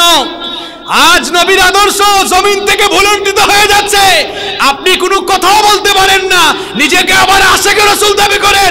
এটা আশেখ রসুলের নমুনা, এটা ভণ্ডামির নমুনা। এস কারে বলে আজকে ভালো করে বুঝুন। এসকের ওয়াজ হচ্ছে এটা আসল এসকের ওয়াজ। এসকের ওয়াজ শুনেন। তো ওই লোক বলতেছে, যে কারবার দেখে আসছি, তিনি যখন কোনো আদেশ করেন এরা সাথে সাথে নবীজির আদেশ পালনে নেমে পড়ে। কয়, আরও দেখছি তো। কাফেররা কয়, কি দেখছ আর? কয়, আমি আরও দেখেছি। ওয়া আলা তারা তাদের নবীকে এত ভালোবাসে। তিনি যখন অজু করেন, ওই অজুর ব্যবহৃত পানিটাও তারা মাটিতে লাগাইতে দেয় না। ওইটাও তারা হাতে নিয়ে গায়ে মাখতে থাকে। আর আনাস রাদি আল্লাহান বলছেন, আনাস রাদি আল্লাহান তিনি বলছেন আমি একবার দেখলাম নবীজির মাথা হলক করা হচ্ছে, সাহাবারা চতুর্দিকে ঘিরে দাঁড়িয়ে আছেন। নবীজির মাথা মোবারক থেকে চুল তারা মাটিতে পড়তে দেন নাই, প্রত্যেকটা চুল তারা হাতের মধ্যে নিয়েছেন আজ নবীর দুশ্মনেরা নবীকে গালিগালাজ করে, আমরা কোনো কথা বলি না।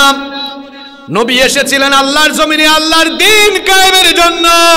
নবীর স্লোগান নিয়ে আজে বাজে কথা হয়, আমরা কোনো কথা বলি না। শুধু রবিউল আউয়াল মাস আসলে নিজেকে আশেক রসুল হিসাবে জাহির করে ফেলি। আহারে ভাই, আর নবীর সাহাবীরা কেমন ভালোবেসেছেন নবীকে শুনে। আবু বকরের মতো আশেকে রসুল হওয়া লাগবে। নবীজি আবু বকরকে বললেন, আবু বকর, হিজরতের আদেশ আল্লাহর কাছ থেকে হিজরতের ইঙ্গিত এসেছে। যে কোনো দিন মক্কা ছেড়ে আমাদের চলে যাওয়া লাগতে পারে। রেডি থাকিও। এর কয়েক মাস পরে নবীজি হিজরত করেছেন। হিজরতের রাতে নবী করিম সাল্লাল্লাহু আলাইহি ওয়াসাল্লাম আবু বকর রাদিয়াল্লাহু আনহুর বাড়িতে গেলেন। দরজায় গিয়ে মাত্র একটা ঠুনকা মারলেন। কয়টা? বলেন তো গভীর রাতে কারও বাড়িতে গেলে একটা দুইটা দাগ দিয়া কি তারে তোলা যাবে নাকি? কয়েকবার ডাকা লাগে কারণ গভীর রাতে মানুষ ঘুমায়। গভীর রাতে নবীজি আবু বকর রাদিয়াল্লাহু আনহুর বাড়িতে গিয়েছেন। গিয়ে মাত্র একটা ঠোকা দিয়েছেন। সঙ্গে সঙ্গে দরজা ওপেন নবীজি অবাক, নবীজি বললেন, কি ব্যাপার আবু বকর? এত রাত হয়ে গিয়েছে। একটা ঠুনকু দিলাম, সাথে সাথে দরজা খুলে ফেললা, তুমি কি ঘুমাও নাই নাকি? আবু বকর রাদিয়াল্লাহু আন এমন আশিকে রসুল। তিনি বললেন নবীগু কেমনে ঘুমাবো বলে? কয়েক মাস আগেই আপনি আমাকে বলেছিলেন, যে কোনো সময় আপনি আমাকে নিয়ে হিজরত করবেন। ওই কথা বলার পর থেকে প্রত্যেকটা দিন রাতের বেলা আমি যখন বিছানায় ঘুমাইতে যাই মাথায় চিন্তা আসে, আমি যদি বালিশে মাথা রেখে বিছানায় আরাম করে ঘুমাই, আর আজকের রাতটাই যদি হিজরতের রাত হয়ে যায়, আর আমি যদি ঘুমের মধ্যে থাকি, নবীজি আমার দরজার সামনে এসে যদি কয়েক সেকেন্ড, কয়েক মিনিট দাঁড়ায় দাঁড়ায় আমার জন্য অপেক্ষা করে, এটা আল্লাহর নবীর সঙ্গে বেয়াদবি হয়ে যাবে। আপনি যেন কষ্ট না পান, আপনার সাথে যেন বেয়াদবি না হয়। ওগো আল্লাহর নবী, এই জন্য আজকে একদিন, দুই দিন নয়, কয়েকটা মাস ধরে রাতের বেলা বিছানায় পিঠ না লাগাইয়া দরজার সঙ্গে হেলান দিয়া দিয়া আপনার অপেক্ষা করি। এর নাম হলো এশক। এর নাম হলো এশক। এর নাম হলো ভালোবাসা। এর নাম হলো মোহাব্বত। হিজরতের রাতে তারা যখন মক্কা থেকে রওনা দিয়ে গাড়ে সৌরের কাছে চলে গেলেন ফজরের ওয়াক্ত হয়ে যাচ্ছে। সেই দিন আবু বকর রাদিয়াল্লাহু আন বললেন, ওগো আল্লাহর নবী, ভোরের আলো ফুটে উঠলে কাফেররা আমাদেরকে দেখে ফেলবে। তখনই তারা আমাদেরকে ধরে ফেলবে, আক্রমণ করবে। চলেন আমরা এই গুহায় আশ্রয় নেই। গারে সৌরের কাছে গিয়ে নবীজিকে বললেন চলেন আশ্রয় নেই। নবীজি বললেন, ঠিক আছে আবু বকর, চলো এই গুহার মধ্যে আমরা অবস্থান করি। আবু বকর বললেন নবীজিকে দাঁড়ান। এটা পাহাড়ি গুহা, এখানে সাপ, বিচ্ছু, পোকামাকড়, ময়লা আবর্জনা থাকতে পারে। আপনি একটু অপেক্ষা করেন, আমি ভেতরে গিয়ে পরিষ্কার করি। ভেতরে গিয়ে তিনি গুহাটাকে সাফ করলেন, দেখলেন গুহার মধ্যে অনেক গর্ত। ভাবলেন, এখানে ইঁদুর, সাপ, বিচ্ছু থাকতে পারে। এই জন্য নিজের গায়ের চাদর ছিঁড়ে ছিঁড়ে টুকরা করে করে সবগুলা গর্ত বন্ধ করে দিলেন তার কাপড় শেষ হয়ে গেল, কিন্তু একটা গর্ত বাকি থাকল। মনে মনে ভাবলেন, একটা গর্তই তো আছে, দুই পা আছে, এক পা দিয়া। আমি একটা গর্ত বন্ধ করে রাখব। তিনি সাফ করে নবীজিকে বললেন, ওগো আল্লাহর নবী, আপনি ভিতরে আসেন। নবীজি যখন ভেতরে আসলেন, নবীজি বললেন, আবু বকর, পাহাড় বেয়ে বেয়ে সারা রাত হেঁটে হেঁটে ক্লান্ত হয়েছি। তুমি একটু বসো, আমি তোমার কুলে মাথা রেখে কিছুক্ষণ আরাম ফরমাই। আবু বকর রাদিয়াল্লাহু আনহুর কুলে মাথা রেখে নবীজি আরাম ফরমাচ্ছেন। এমন সময় নবীজি ঘুমিয়ে গেলেন। আবু বকর রাদিয়াল্লাহু আন এক পা দিয়ে তিনি ওই গর্তটা বন্ধ করে রেখেছিলেন ওই গর্তের ভেতরে একটা বিষধর সাপ ছিল। হঠাৎ করে পায়ের মধ্যে কামড় দিল। বিষের যন্ত্রণায় আবু বকর রাদিয়াল্লাহু আনহু ছটফট করছেন। কিন্তু নবীজিকে ঘুম থেকে জাগান না। কারণ নবীজির কষ্ট হয়ে যাবে বেহাদবি হতে পারে। বিষের যন্ত্রণা সইতে না পেরে চক্ষু থেকে পানের ফোঁটা টপ টপ করে পড়তে লাগল। নবীজির চেহারা মুবারকে বলল, নবীজির ঘুম ভেঙে গেল। দেখলেন আবু বকর কান্না করছেন।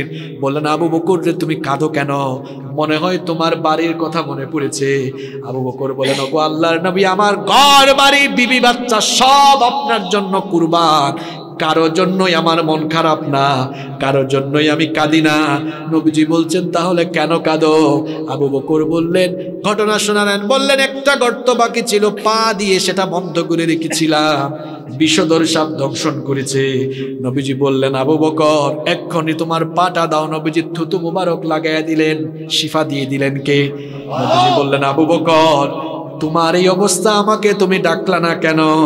আবু বকর বললেন, ওগো আল্লাহর নবী, আমি আপনাকে এতটা ভালোবাসি, আপনার সামান্য কষ্ট আমার বরদাস্ত হয় না। আল্লাহর কসম করে বলছি, এই সাপ আমাকে দংশন করেছে। বহু কন চেষ্টা করেছিলাম চোখের পানি ধরে রাখার জন্য। আপনাকে চোখের পানি পড়ার পরেও আমি ডাকি নাই। ওগো আল্লাহর নবী, এই অবস্থায় যদি আমার জীবনও চলে যেত, আপনার আরামে আমি ব্যাঘাত ঘটাতাম না। এর নাম এশক। এর নাম ভালোবাসা। সত্যিকারের আশেকের রসুল হলে আল্লাহর জমিনে আল্লাহর দিন কায়েমের ঝান্ডাবাহী পতাকা নিয়ে তারপরে ময়দানে নামা লাগবে।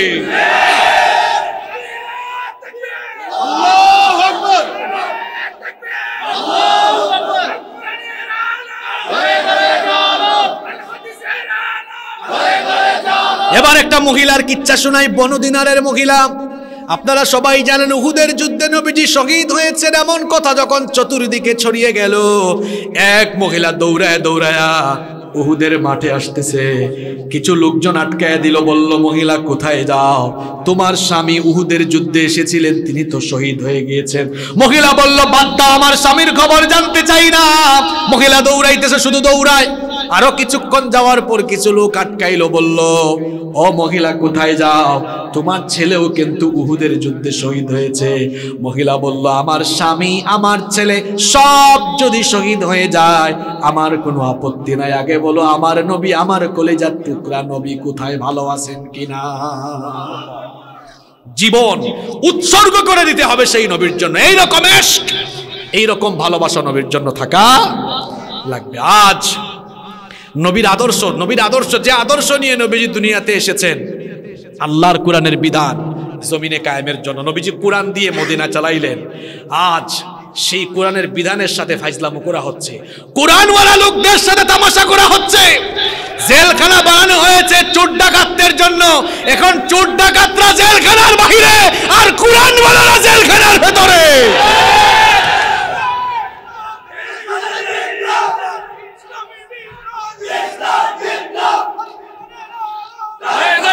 নবীজি যে কোরআনের বিধান কায়েমের জন্য দুনিয়াতে এসেছেন, সেই কোরআনওয়ালারা আজ জেলখানায় বসে কাঁদে, তোমার হৃদয়ে একটু আঘাত লাগে না, তুমি বুঝি আবার আশেকে রাসূল নিজেকে দাবি করো। আল্লাহ আমাদেরকে হেদায়াত দান করেন। আরও আসতে বলেন, আমিন। বলেছিলাম, নবীজির আশেক হইতে হলে কয়টা কাজ করা লাগবে? আরও জোরে, কয়টা? বলছি কয়টা? দুইটা না, কয়টা বলছি? তিনটা, কয়টা বলছি? তিনটা, কয়টা? দেখি স্লোগানের চোটে মনে আছে না ভুলে গেছে। এক নম্বর কি বলছিলাম? নবীদের জীবনী স্টাডি করতে হবে। দুই নম্বর কি বলেছিলাম? নবীজিকে স্মরণ করে বেশি বেশি দুরুদ পড়তে, দুরুদকে গোলার মালা বানাই ফেলতে হবে। তিন নাম্বার, নবীজিকে হ্যাঁ নবীজিকে ভালোবাসতে হবে। তবে কাদের মতো? কাদের মতো? নিজের জীবনের চাইতেও বেশি ভালোবাসা লাগবে। আর এই ভালোবাসাটা এখন কেমন হবে? এই যুগে কেমন হবে? শুধু আমরা বলব, নবী গো, জীবনের চেয়ে বেশি ভালোবাসি। না, এরকম মুখ দিয়া বললে হবে না। নবী দুনিয়াতে এসেছেন কার বিধান কায়েমের জন্য? এই কোরআনের বিধান, নবীর এই আদর্শকে, নবীর আদর্শ যে কোরআন, এটা কি আমার কথা? আয়সরা দিয়ে আনহাকে সাহাবিরা জিজ্ঞেস করছে, নবীর চরিত্র কেমন? কয়, কোরআন পড়ো না? কোরআনটাই নবীর চরিত্র সুবাহান আল্লাহ তাহলে নবীর এই চরিত্র নবীর এই আদর্শ বাস্তবায়নের জন্য নবীজির পাগল পারা উম্মত আল্লাহর এই জমিনে আল্লাহর বিধান কায়েমের জন্য সংগ্রাম করবে। রক্ত দেওয়ার দরকার হলে রক্ত দিবে জীবন দেওয়ার দরকার হলে জীবন দিবে তাও বাতিলের সামনে মাথা নত করবে না।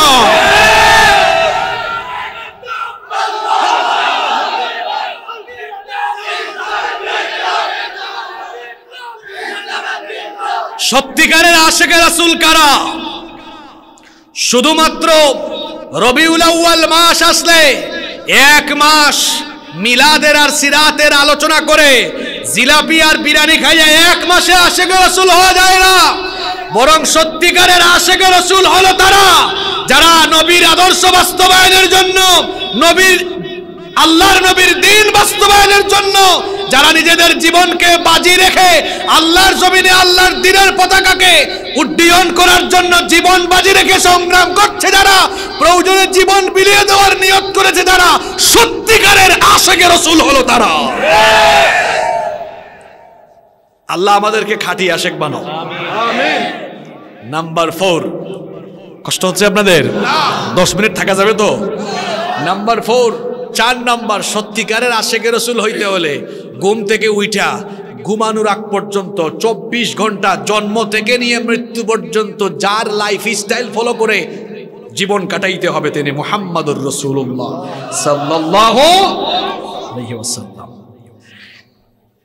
গোটা জীবন ভরটাকে অনুসরণ করতে হবে, কথা বলার সময় নবীজির স্টাইল ফলো করতে হবে, আল্লাহর নবী হাসি মুখে কথা বলতে, হাসি মুখে কথা বলতে হবে। চুল কাটার সময় নিজেকে আশিকে রসুল বলে, নবীর স্টাইলে চুল কাটেন আর চুল কাটেন মেসি আর নেইমারের স্টাইলে কি বলেন? আমার ঠিকও কয় পোলা পায় খুব ভদ্র পোলা পায় এরপরে আমরা অনেকে প্যান্টকে টাকনুন নিচে ঝুলাইয়া হাঁটে, অবশ্য চন্দন আইসে নাই হ্যাঁ?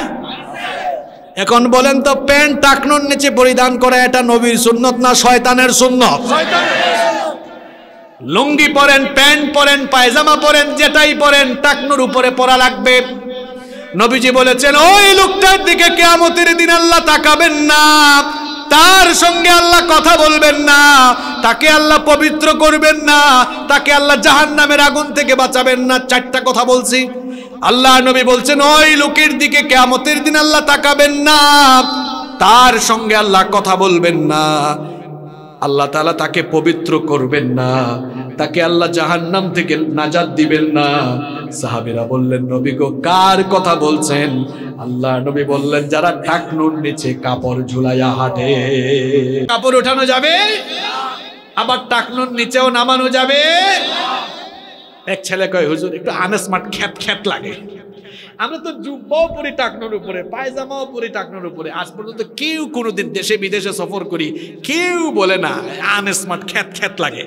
আসলে নবীর সুন্নত মানার মধ্যে স্মার্টনেস আছে।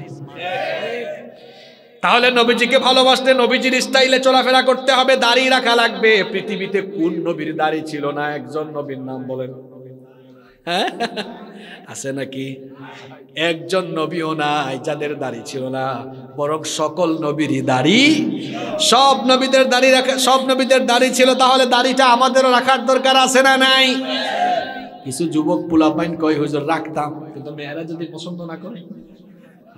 দাড়ি রাখার কারণে কোনো মেয়ে যদি পছন্দ না করে, আল্লাহর শুক্রিয়া, আল্লাহ একটা জাহান্নামী নারী থেকে আপনারে বাঁচাই দিয়েছে। দাড়ি রাখলে চেহারার স্মার্টনেস বাড়ে, চেহারার লাবণ্য বাড়ে। নবীজির স্টাইল ফলো করে জীবন পরিচালনা করতে হবে। কথা বলার সময় মিথ্যা বলা যাবে। মিথ্যা বলা শয়তানের সুন্নত না নবীর সুন্নত? তাইলে আমরা কথা বলার সময় কি মিথ্যা বলব নাকি? গিবত করব নাকি? সমালোচনা করব নাকি? আমরা এখন মাইন্সের সমালোচনা বেশি করি। আত্মসমালোচনা কম করি। নিজের চরকায় তেল দেন। মানুষের গন্ধ খুঁজেন। নিজের মধ্যে গন্ধ আরও বেশি আছে। আত্মসমালোচনা করেন। কয়টা মানুষ আছে বলেন তো আমরা আত্মসমালোচনা করি। শোনেন, কিছু সবক দিই আপনাদেরকে। প্রতিদিন রাতের বেলা ঘুমানোর আগে আত্মসমালোচনা করবেন। সেটা কীরকম? দেখেন, আমি করি আপনারা শোনেন। রাতের বেলা ঘুমানোর আগে চিন্তা করবেন। দেখি তো। একটু চিন্তা করি। হায় হায়, আজকে পাঁচ ওয়াক্ত নামাজের মধ্যে তিন ওয়াক্ত জামাত পড়লাম আর দুই ওয়াক্ত জামাতটা কাজা করলাম। এই যে আমি আমাকে নিয়ে ভাবতেছি, এটা কি পরের সমালোচনা না আত্মসমালোচনা? আগামীকাল থেকে আর জামাত বাদ দিব না ইনশা দেখেন, আত্মসমালোচনার মাধ্যমে চরিত্র কি হয়? উন্নত হয়, সমৃদ্ধ হয়। আরে, আজকে তো দুপুর বেলায় ভুল বশত একটা মিথ্যা বলে ফেলছিলাম। আস্তাগফিরুল্লাহ। তবা করে ফেলি। আর আগামীকাল থেকে মিথ্যা বলব? হায় হায়, আজকে লাইনে দাঁড়াইছিলাম এক জায়গায় ব্যাংকে। এক ভাইকে গুতা একটা দিয়ে ফেলছিলাম। ওনার কষ্ট পাইছে। একটা ফুড লাগান। ভাইজান ভালো আছেন? কষ্ট দিয়ে ফেলছে, মাফ করে দেন। মাইন্সের সমালোচনা না আত্মসমালোচনা? হাই হাই হাই ওই যে এক জায়গায় চা খেতে বসছিলাম আজকে, বিকেলবেলা, আসরের সময়। ওখানে তো বৈশাখ গিবত করে ফেলছে, আস্তাগফিরুল্লাহ। আর গিবত করব না কোনোদিন। মাইন্সের সমালোচনা না আত্মসমালোচনা? এখন বলেন তো আমরা আত্মসমালোচনা বেশি করি না পরের সমালোচনা বেশি করি? আর নবীজি বলেছেন, মানুষের দুষ্ত্রুটি গোপন রাখো। সবার দুষ্ত্রুটি আছে না নাই? গোপন গুণা আছে তো? এমনও গোপন গুণা আছে, ফাঁস হইলে ইজ্জত থাকবে না আল্লাহ বলেছেন, তুমি তোমার ভাইয়ের দোষ ত্রুটি গোপন রাখো। আল্লাহ তোমার গুণাগুলো গোপন রেখে চুপি চুপি তোমারে জান্নাত দিবেন। আহ, এই হাদিসটা বুঝলেই তো আমরা সমালোচনা বাদ দিয়ে ফেলতাম। নিজের চরকায় তেল দেন। এই যুবকরা, শোনো, সমালোচনা বাদ দাও আজকে থেকে। আত্মসমালোচনা করো। মনে রাখতে হবে, পরনিন্দা, পরচর্চা, চরিত্র ধ্বংস করে, আত্মসমালোচনা চরিত্র উন্নত করে। আমরা নবীর স্টাইলে চলাফেরা করব। নবী কি আগে কথা বলতেন না আগে সালাম দিতেন? নবীজি সালাম নিতেন নাকি সালাম দিতেন? আমরা নিব বেশি না দিব বেশি। আমরা তো কয়েকজন ভাব নিয়ে থাকি "উম, উম, আমি কেন দিব? বিশেষ করে ঊর্ধ্বতন চেহারা থাকলে সব সালাম অধস্তনদের কাছ থেকে নিতে চায় নিজে দেয় না। আছে না নাই? নবীজিকে কোনোদিন কেউ আগে সালাম দিতে পারছে? কথা বলেন পেরেছে? কেউ কোনোদিন নবীকে আগে সালাম দিতে পেরেছে? নবীজি সবার আগে সালাম দিয়ে ফেলেছেন। তাহলে আমরাও সালাম দিব তো মানুষকে ইনশা এইভাবে করে নবীজিকে অনুসরণ করতে হবে। আল্লাহর আনুগত্যের আগে নবীজির আনুগত্য করতে হবে। এই জন্য নবীজি বলেছেন মান আত আনি ফাকদ আতা আল্লাহ। যে আমার আনুগত্য করল সে আল্লাহর আনুগত্য করল তাহলে নবীজিকে ভালোবাসার চার নাম্বার নমুনা হলো গোটা জীবনভর যার অনুসরণ করতে হবে তিনি কে? ভালোবাসার মূল দাবি হলো অনুসরণ করা। ভালোবাসার মূল দাবি কি? সর্বশেষ একটা কিচ্ছা শুনে আপনাদের খারাপ লাগতেছে, আমি জানি। একটা কিচ্ছা মনে হয়েছে, বলব আমি? খুব মারাত্মক কিচ্ছা, বলব তো? বলার পরে এক এক গোষ্ঠীর প্রশ্ন আছে, ওই প্রশ্নের উত্তরও আজকে দিয়ে যাব এখান থেকে। শুধু ভালোবাসলেই হবে না, ভালোবাসার মূল দাবি মেনে চলা। ভালোবাসা দেখে যদি নবীজিকে মেনে না চলে, সুজা জাহান নামে যেতে হবে। এরকমই একটা জাহান নামী লোকের কিচ্ছা শোনাই। তার নাম আবু আলেম নাম কি? নবীজির আপন? নবীজিকে ভালোবাসছে কম না বেশি? নবীজি জন্মের আগে বাবা হারাইলেন। জন্মের পরে মা হারাইলেন। দাদার আশ্রয়ে ছিলেন, দাদাকেও হারাইলেন। চলে গেলেন কার আশ্রয়ে? চাচার আশ্রয়ে। আর এই চাচা তাকে অনেক আদর, ভালোবাসা দিয়ে লালন পালন করেছেন। আবু তালেব নবীজিকে খুব ভালোবাসতেন। নবীজিও আবু তালেবকে খুব শ্রদ্ধা করতেন। আবু তালেব যখন মৃত্যু সজ্জায় বুখারের হাদিস নবীজি গিয়ে দেখলেন, তার চাচা দুনিয়া থেকে চলে যাওয়ার সময় এসেছে। নবীজির হাতে হাত রেখে ইসলাম কবুল করেছে তখন অনেকেই। নবীজির খারাপ লাগতেছে আরে আমার চাচা এত ভালোবাসা দিয়ে আমাকে লালন পালন করেছেন। আমার চাচা যদি কালেমাগিন অবস্থায়, কাফের অবস্থায় মারা যান আমার বাবা তো জাহান নামে চলে যাবে, আমার চাচা তো জাহান নামে চলে যাবে। নবীজির খারাপ লাগতেছে। নবীজি গিয়ে চাচাকে কানে কানে বললেন, ইয়া আম্মি আবু তালেব, আমার কলিজার টুকরা চাচা শোনেন। উল্লা ইলাহা ইল্লাল্লাহ।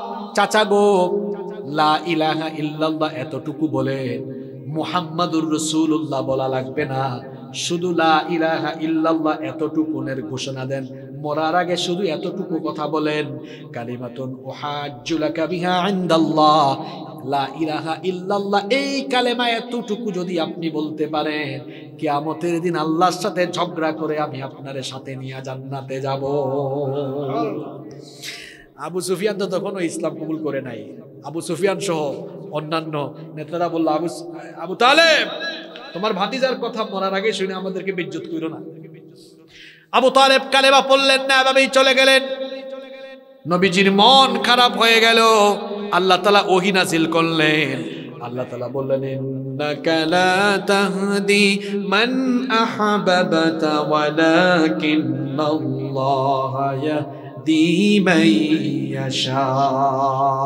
আল্লাহ তালা সান্ত্বনা দিলেন, বললেন অগনবী আপনি যাকে ভালোবাসেন তারে হেদায়াত করার দায়িত্ব তো আপনার নয়, হেদায়াতের চাবি কার হাতে? এরপরেও নবীজির দিল মানে না। নবীজি তখন হাত উঠাইয়া আল্লাহর কাছে দোয়া করতে যাবেন, আল্লাহ আমার চাচা কাফের অবস্থায় বললেও তুমি মাফ করে দাও। এইরকম দোয়া যখন নবীজি করতে যাবেন, আল্লাহ বরদাস্ত করেন নাই। সাথে সাথে আল্লাহ আয়াত নাজিল করলেন। আল্লাহ বললেন, মা কানা লিন্নাবিয়্যি ওয়াল্লাযীনা আমানু আইয়াস্তাগফিরু লিল মুশরিকিনা ওয়ালাউ কানু উলি কুরবা মিন বাদি ما تبين لهم أنهم أصحاب الجحيم. الله تعالى বললেন, ও নবী, শুনেন, আপনি নবী নবী এবং নবীর উম্মত খাঁটি ইমানদার তাদের জন্য উচিত নয়। কোন কাফেরের জন্য আল্লাহর কাছে ক্ষমা চাওয়া সুপারিশ করা। কারণ আল্লাহর ওয়াদা হলো এদের জন্য আল্লাহ জাহান নাম রেখেছে। এই কিচ্ছাটা এই জন্য শোনাইলাম, অনুসরণ না কইরা নবীর আদর্শ বাস্তবায়নের কাজ না করে, শুধু ভালোবাসা দেখাইলেই যদি জান্নাতে যাওয়া যাইতো, তাহলে সবার আগে আবু তালেব জান্নাতে চলে যাইতো। তার মানে বোঝা গেল ভালোবাসা দেখাইয়া জিলাপি মিষ্টি খাইয়া আর বিরিয়ানি খাইয়াই শুধু ভালোবাসা দেখাইলে হবে না, বরং ভালোবাসলে নবীজিকে অনুসরণ করে নবীর সুন্নত জমিনে বাস্তবায়নের জন্য জীবন কুরবানি করে দেওয়া লাগবে। এবার বলছিলাম না, এক গোষ্ঠীর প্রশ্ন আছে? আমি একবার এক জায়গায় এক আলোচনা করলাম, পরে শুনলাম এরা ভিডিও বানাইতেছে। বলতেছে, পাগলা, নবীরে ভালোবাসলে জাহান নামে গেলেও লাভ আছে। দেখো না, আবু তালেব জাহান নামে গেলেও শাস্তি সবচেয়ে। শাস্তি সব সবচাইতে যুক্তি দেখছেন। শয়তানও হাসে, আল্লাহ, আমারে যে শয়তান বানাইছো কেন? আমার তো তার কাছে মুড়ি ধোয়া দরকার এই হেতু থেকে আমার বস। এ পাগলা জাহান নামের আজাব সর্বোচ্চ হোক আর সর্বনিম্ন হোক জাহান নাম তো জাহান নামি রে পাগলা। আবু তালেব, সে জাহান নামে গিয়া সর্বনিম্ন শাস্তি, ওইটাও কত মারাত্মক, আগুনের স্যান্ডেল পরার পরে মগজ আর মগজও থাকবে না, মগজ গইলা পড়তে থাকবে না আউজুবিল্লাহ হেমে পাগলা। দেখছেন? কি যুক্তি দিছে? জাহান নামে গেছে তো কি হয়েছে ভালোবাসা তো জাহান নামে আজাব কম পাইছে। হে পাগলা জাহান নাম তো জাহান নাম এখানে কম আর বেশি কি? জাহান নামের সর্বনিম্ন আজাব সইতে পারবেন আপনি? সবার ক্ষমতা আছে? আমরা জাহান নাম থেকে বাঁচতে চাই কি চাই না?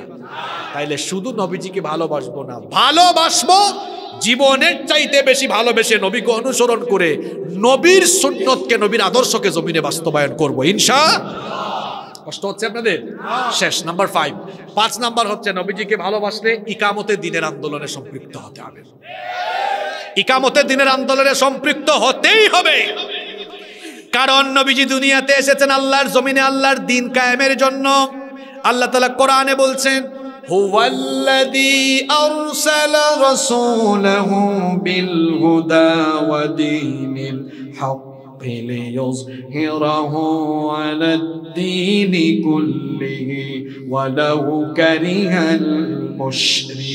المشركون আল্লাহ তালা বলছেন তিনি হচ্ছেন সেই সুমহান সত্তা যিনি তার রসুলকে দিনে হক এবং হেদায়াত সহ দুনিয়াতে পাঠিয়েছেন। কেন পাঠিয়েছেন শোনো লিউজহিরাহু আলাদ্দিনে কুল্লি, এই দুনিয়ার সকল মতবাদের উপরে ইসলামকে বিজয়ী আদর্শ হিসাবে প্রতিষ্ঠার জন্য নবীকে পাঠিয়েছেন কে? সব তন্ত্র সব তন্ত্র মন্ত্রের শিকড় কেটে ফেলে আল্লাহর জমিনে, আল্লাহর দিন কায়েমের জন্য নবীকে পাঠাইছেন কে? নবীকে পাঠাইছেন কে? আজ আমরা নিজেদেরকে আশেক রসুল বলি। কিন্তু আমাদের ব্যক্তি জীবনে, পারিবারিক জীবনে, সমাজ জীবনে, রাজনৈতিক জীবনে নবীর আদর্শের অনুসরণ। নবী কি আব্রাহাম লিঙ্কন আর লেলিনের আদর্শ বাস্তবায়নে দুনিয়াতে এসেছিলেন? কার বিধান কায়েমের জন্য এসেছিলেন আপনি কার বিধান কায়েম করতেছেন? জবাব দেওয়া লাগবে না, নিজের বিবেককে প্রশ্ন করেন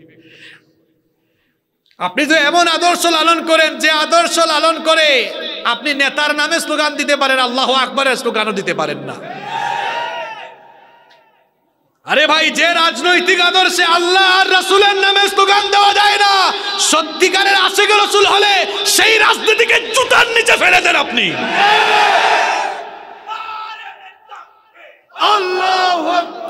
যে রাজনৈতিক আদর্শে আল্লাহ আর রসুলের কথা বলা যায় না যে রাজনৈতিক আদর্শে আল্লাহ আকবরের স্লোগান দিলে বিতর্কিত স্লোগান বলা হয়, ওই সকল রাজনীতিকে জুতার নিচে ফেলে দেন আপনি। সারা জীবন রাসুলের আদর্শের রাজনীতি করে নাই। কিন্তু কীরকম টাটকা লোক দেখেন, মরার সময় ঠিকই রাসুলের দলে উঠতে চায়। এই চন্দন আইসে মানুষ মারা গেলে কবরে লাশ রাখার সময় কি দেওয়া পরে বিসমিল্লাহি। কীরকম কায়দা করে দোয়া পড়ছে দেখছেন? দোয়াটা আরবি না বাংলা? বিসমিল্লা কার নামে? আলা মিল্লাতি রাসূলিল্লাহ, কার দলে? হাই হাই কারে আপনি রাসূলের দলে উঠায় দেন? কারে উঠান? এটা কে কে? যেই লোক সারা জীবন রাসূলের আদর্শের বিরোধিতা করেছে, যেই লোক সারা জীবন নবীর দাড়ি, নবীর টুপি, দাড়িওয়ালা, টুপিওয়ালা দেখলেই চুলকানি শুরু হয়েছে যেই লোক সারা জীবন রাসূলের আদর্শের লোকদেরকে পিটাইছে, জেলখানায় ঢুকাইছে, এখন মরার পরে বুঝি আপনি তারা রাসূলের দলে উঠায় দেন।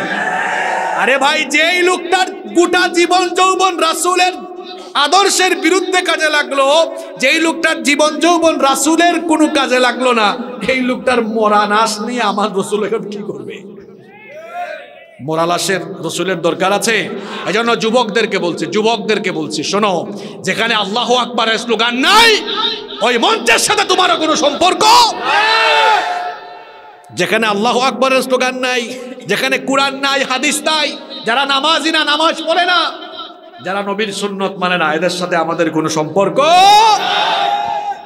রাজি আছেন তো? অনেক কষ্ট দিয়েছি আপনাদেরকে। নবীকে ভালোবাসতে কয়টা জিনিস থাকা লাগবে? আরও জোরে। কয়টা? বলছি কয়টা? বাকি আছে? একটা ক্লাস টেস্ট হয়ে যাক দেখি পাঁচটা মনে আসেনি। এক নাম্বার। হ্যাঁ পোলা পায়ন যুবকরা ভুলা গেছো নাকি? যুবকরা কথা বলো। এক নাম্বার। নবীর জীবনে কি? জীবনে কি? স্টাডি করতে হবে। দুই নাম্বার। নবীজির উপর বেশি বেশি দূরত পড়তে। তিন নাম্বার নবীজিকে ভালোবাসতে হবে কাদের মতো? চার নাম্বার, জীবনের আগাগুড়া। যাকে মেনে মেনে চলবো, তিনি কে? রসুল সাল্লাম। পাঁচ নাম্বারে কি বলেছি? একামতের দিনের আন্দোলনে নিজেদেরকে সামিল করে ফেলতে। এই আদর্শে আর ওই আদর্শে দৌড়াবো না। যারা আল্লাহর জমিনে আল্লাহর দিন কায়েম করবে, তাদের সাথে আমরা থাকব ইনশা নাম্বার সিক্স, ছয় নাম্বার হচ্ছে, যে রাসুলের জন্য এত পাগল পাড়া, সে রাসুলের সাথে দিদারের আকাঙ্ক্ষাও ভেতরে থাকা লাগবে।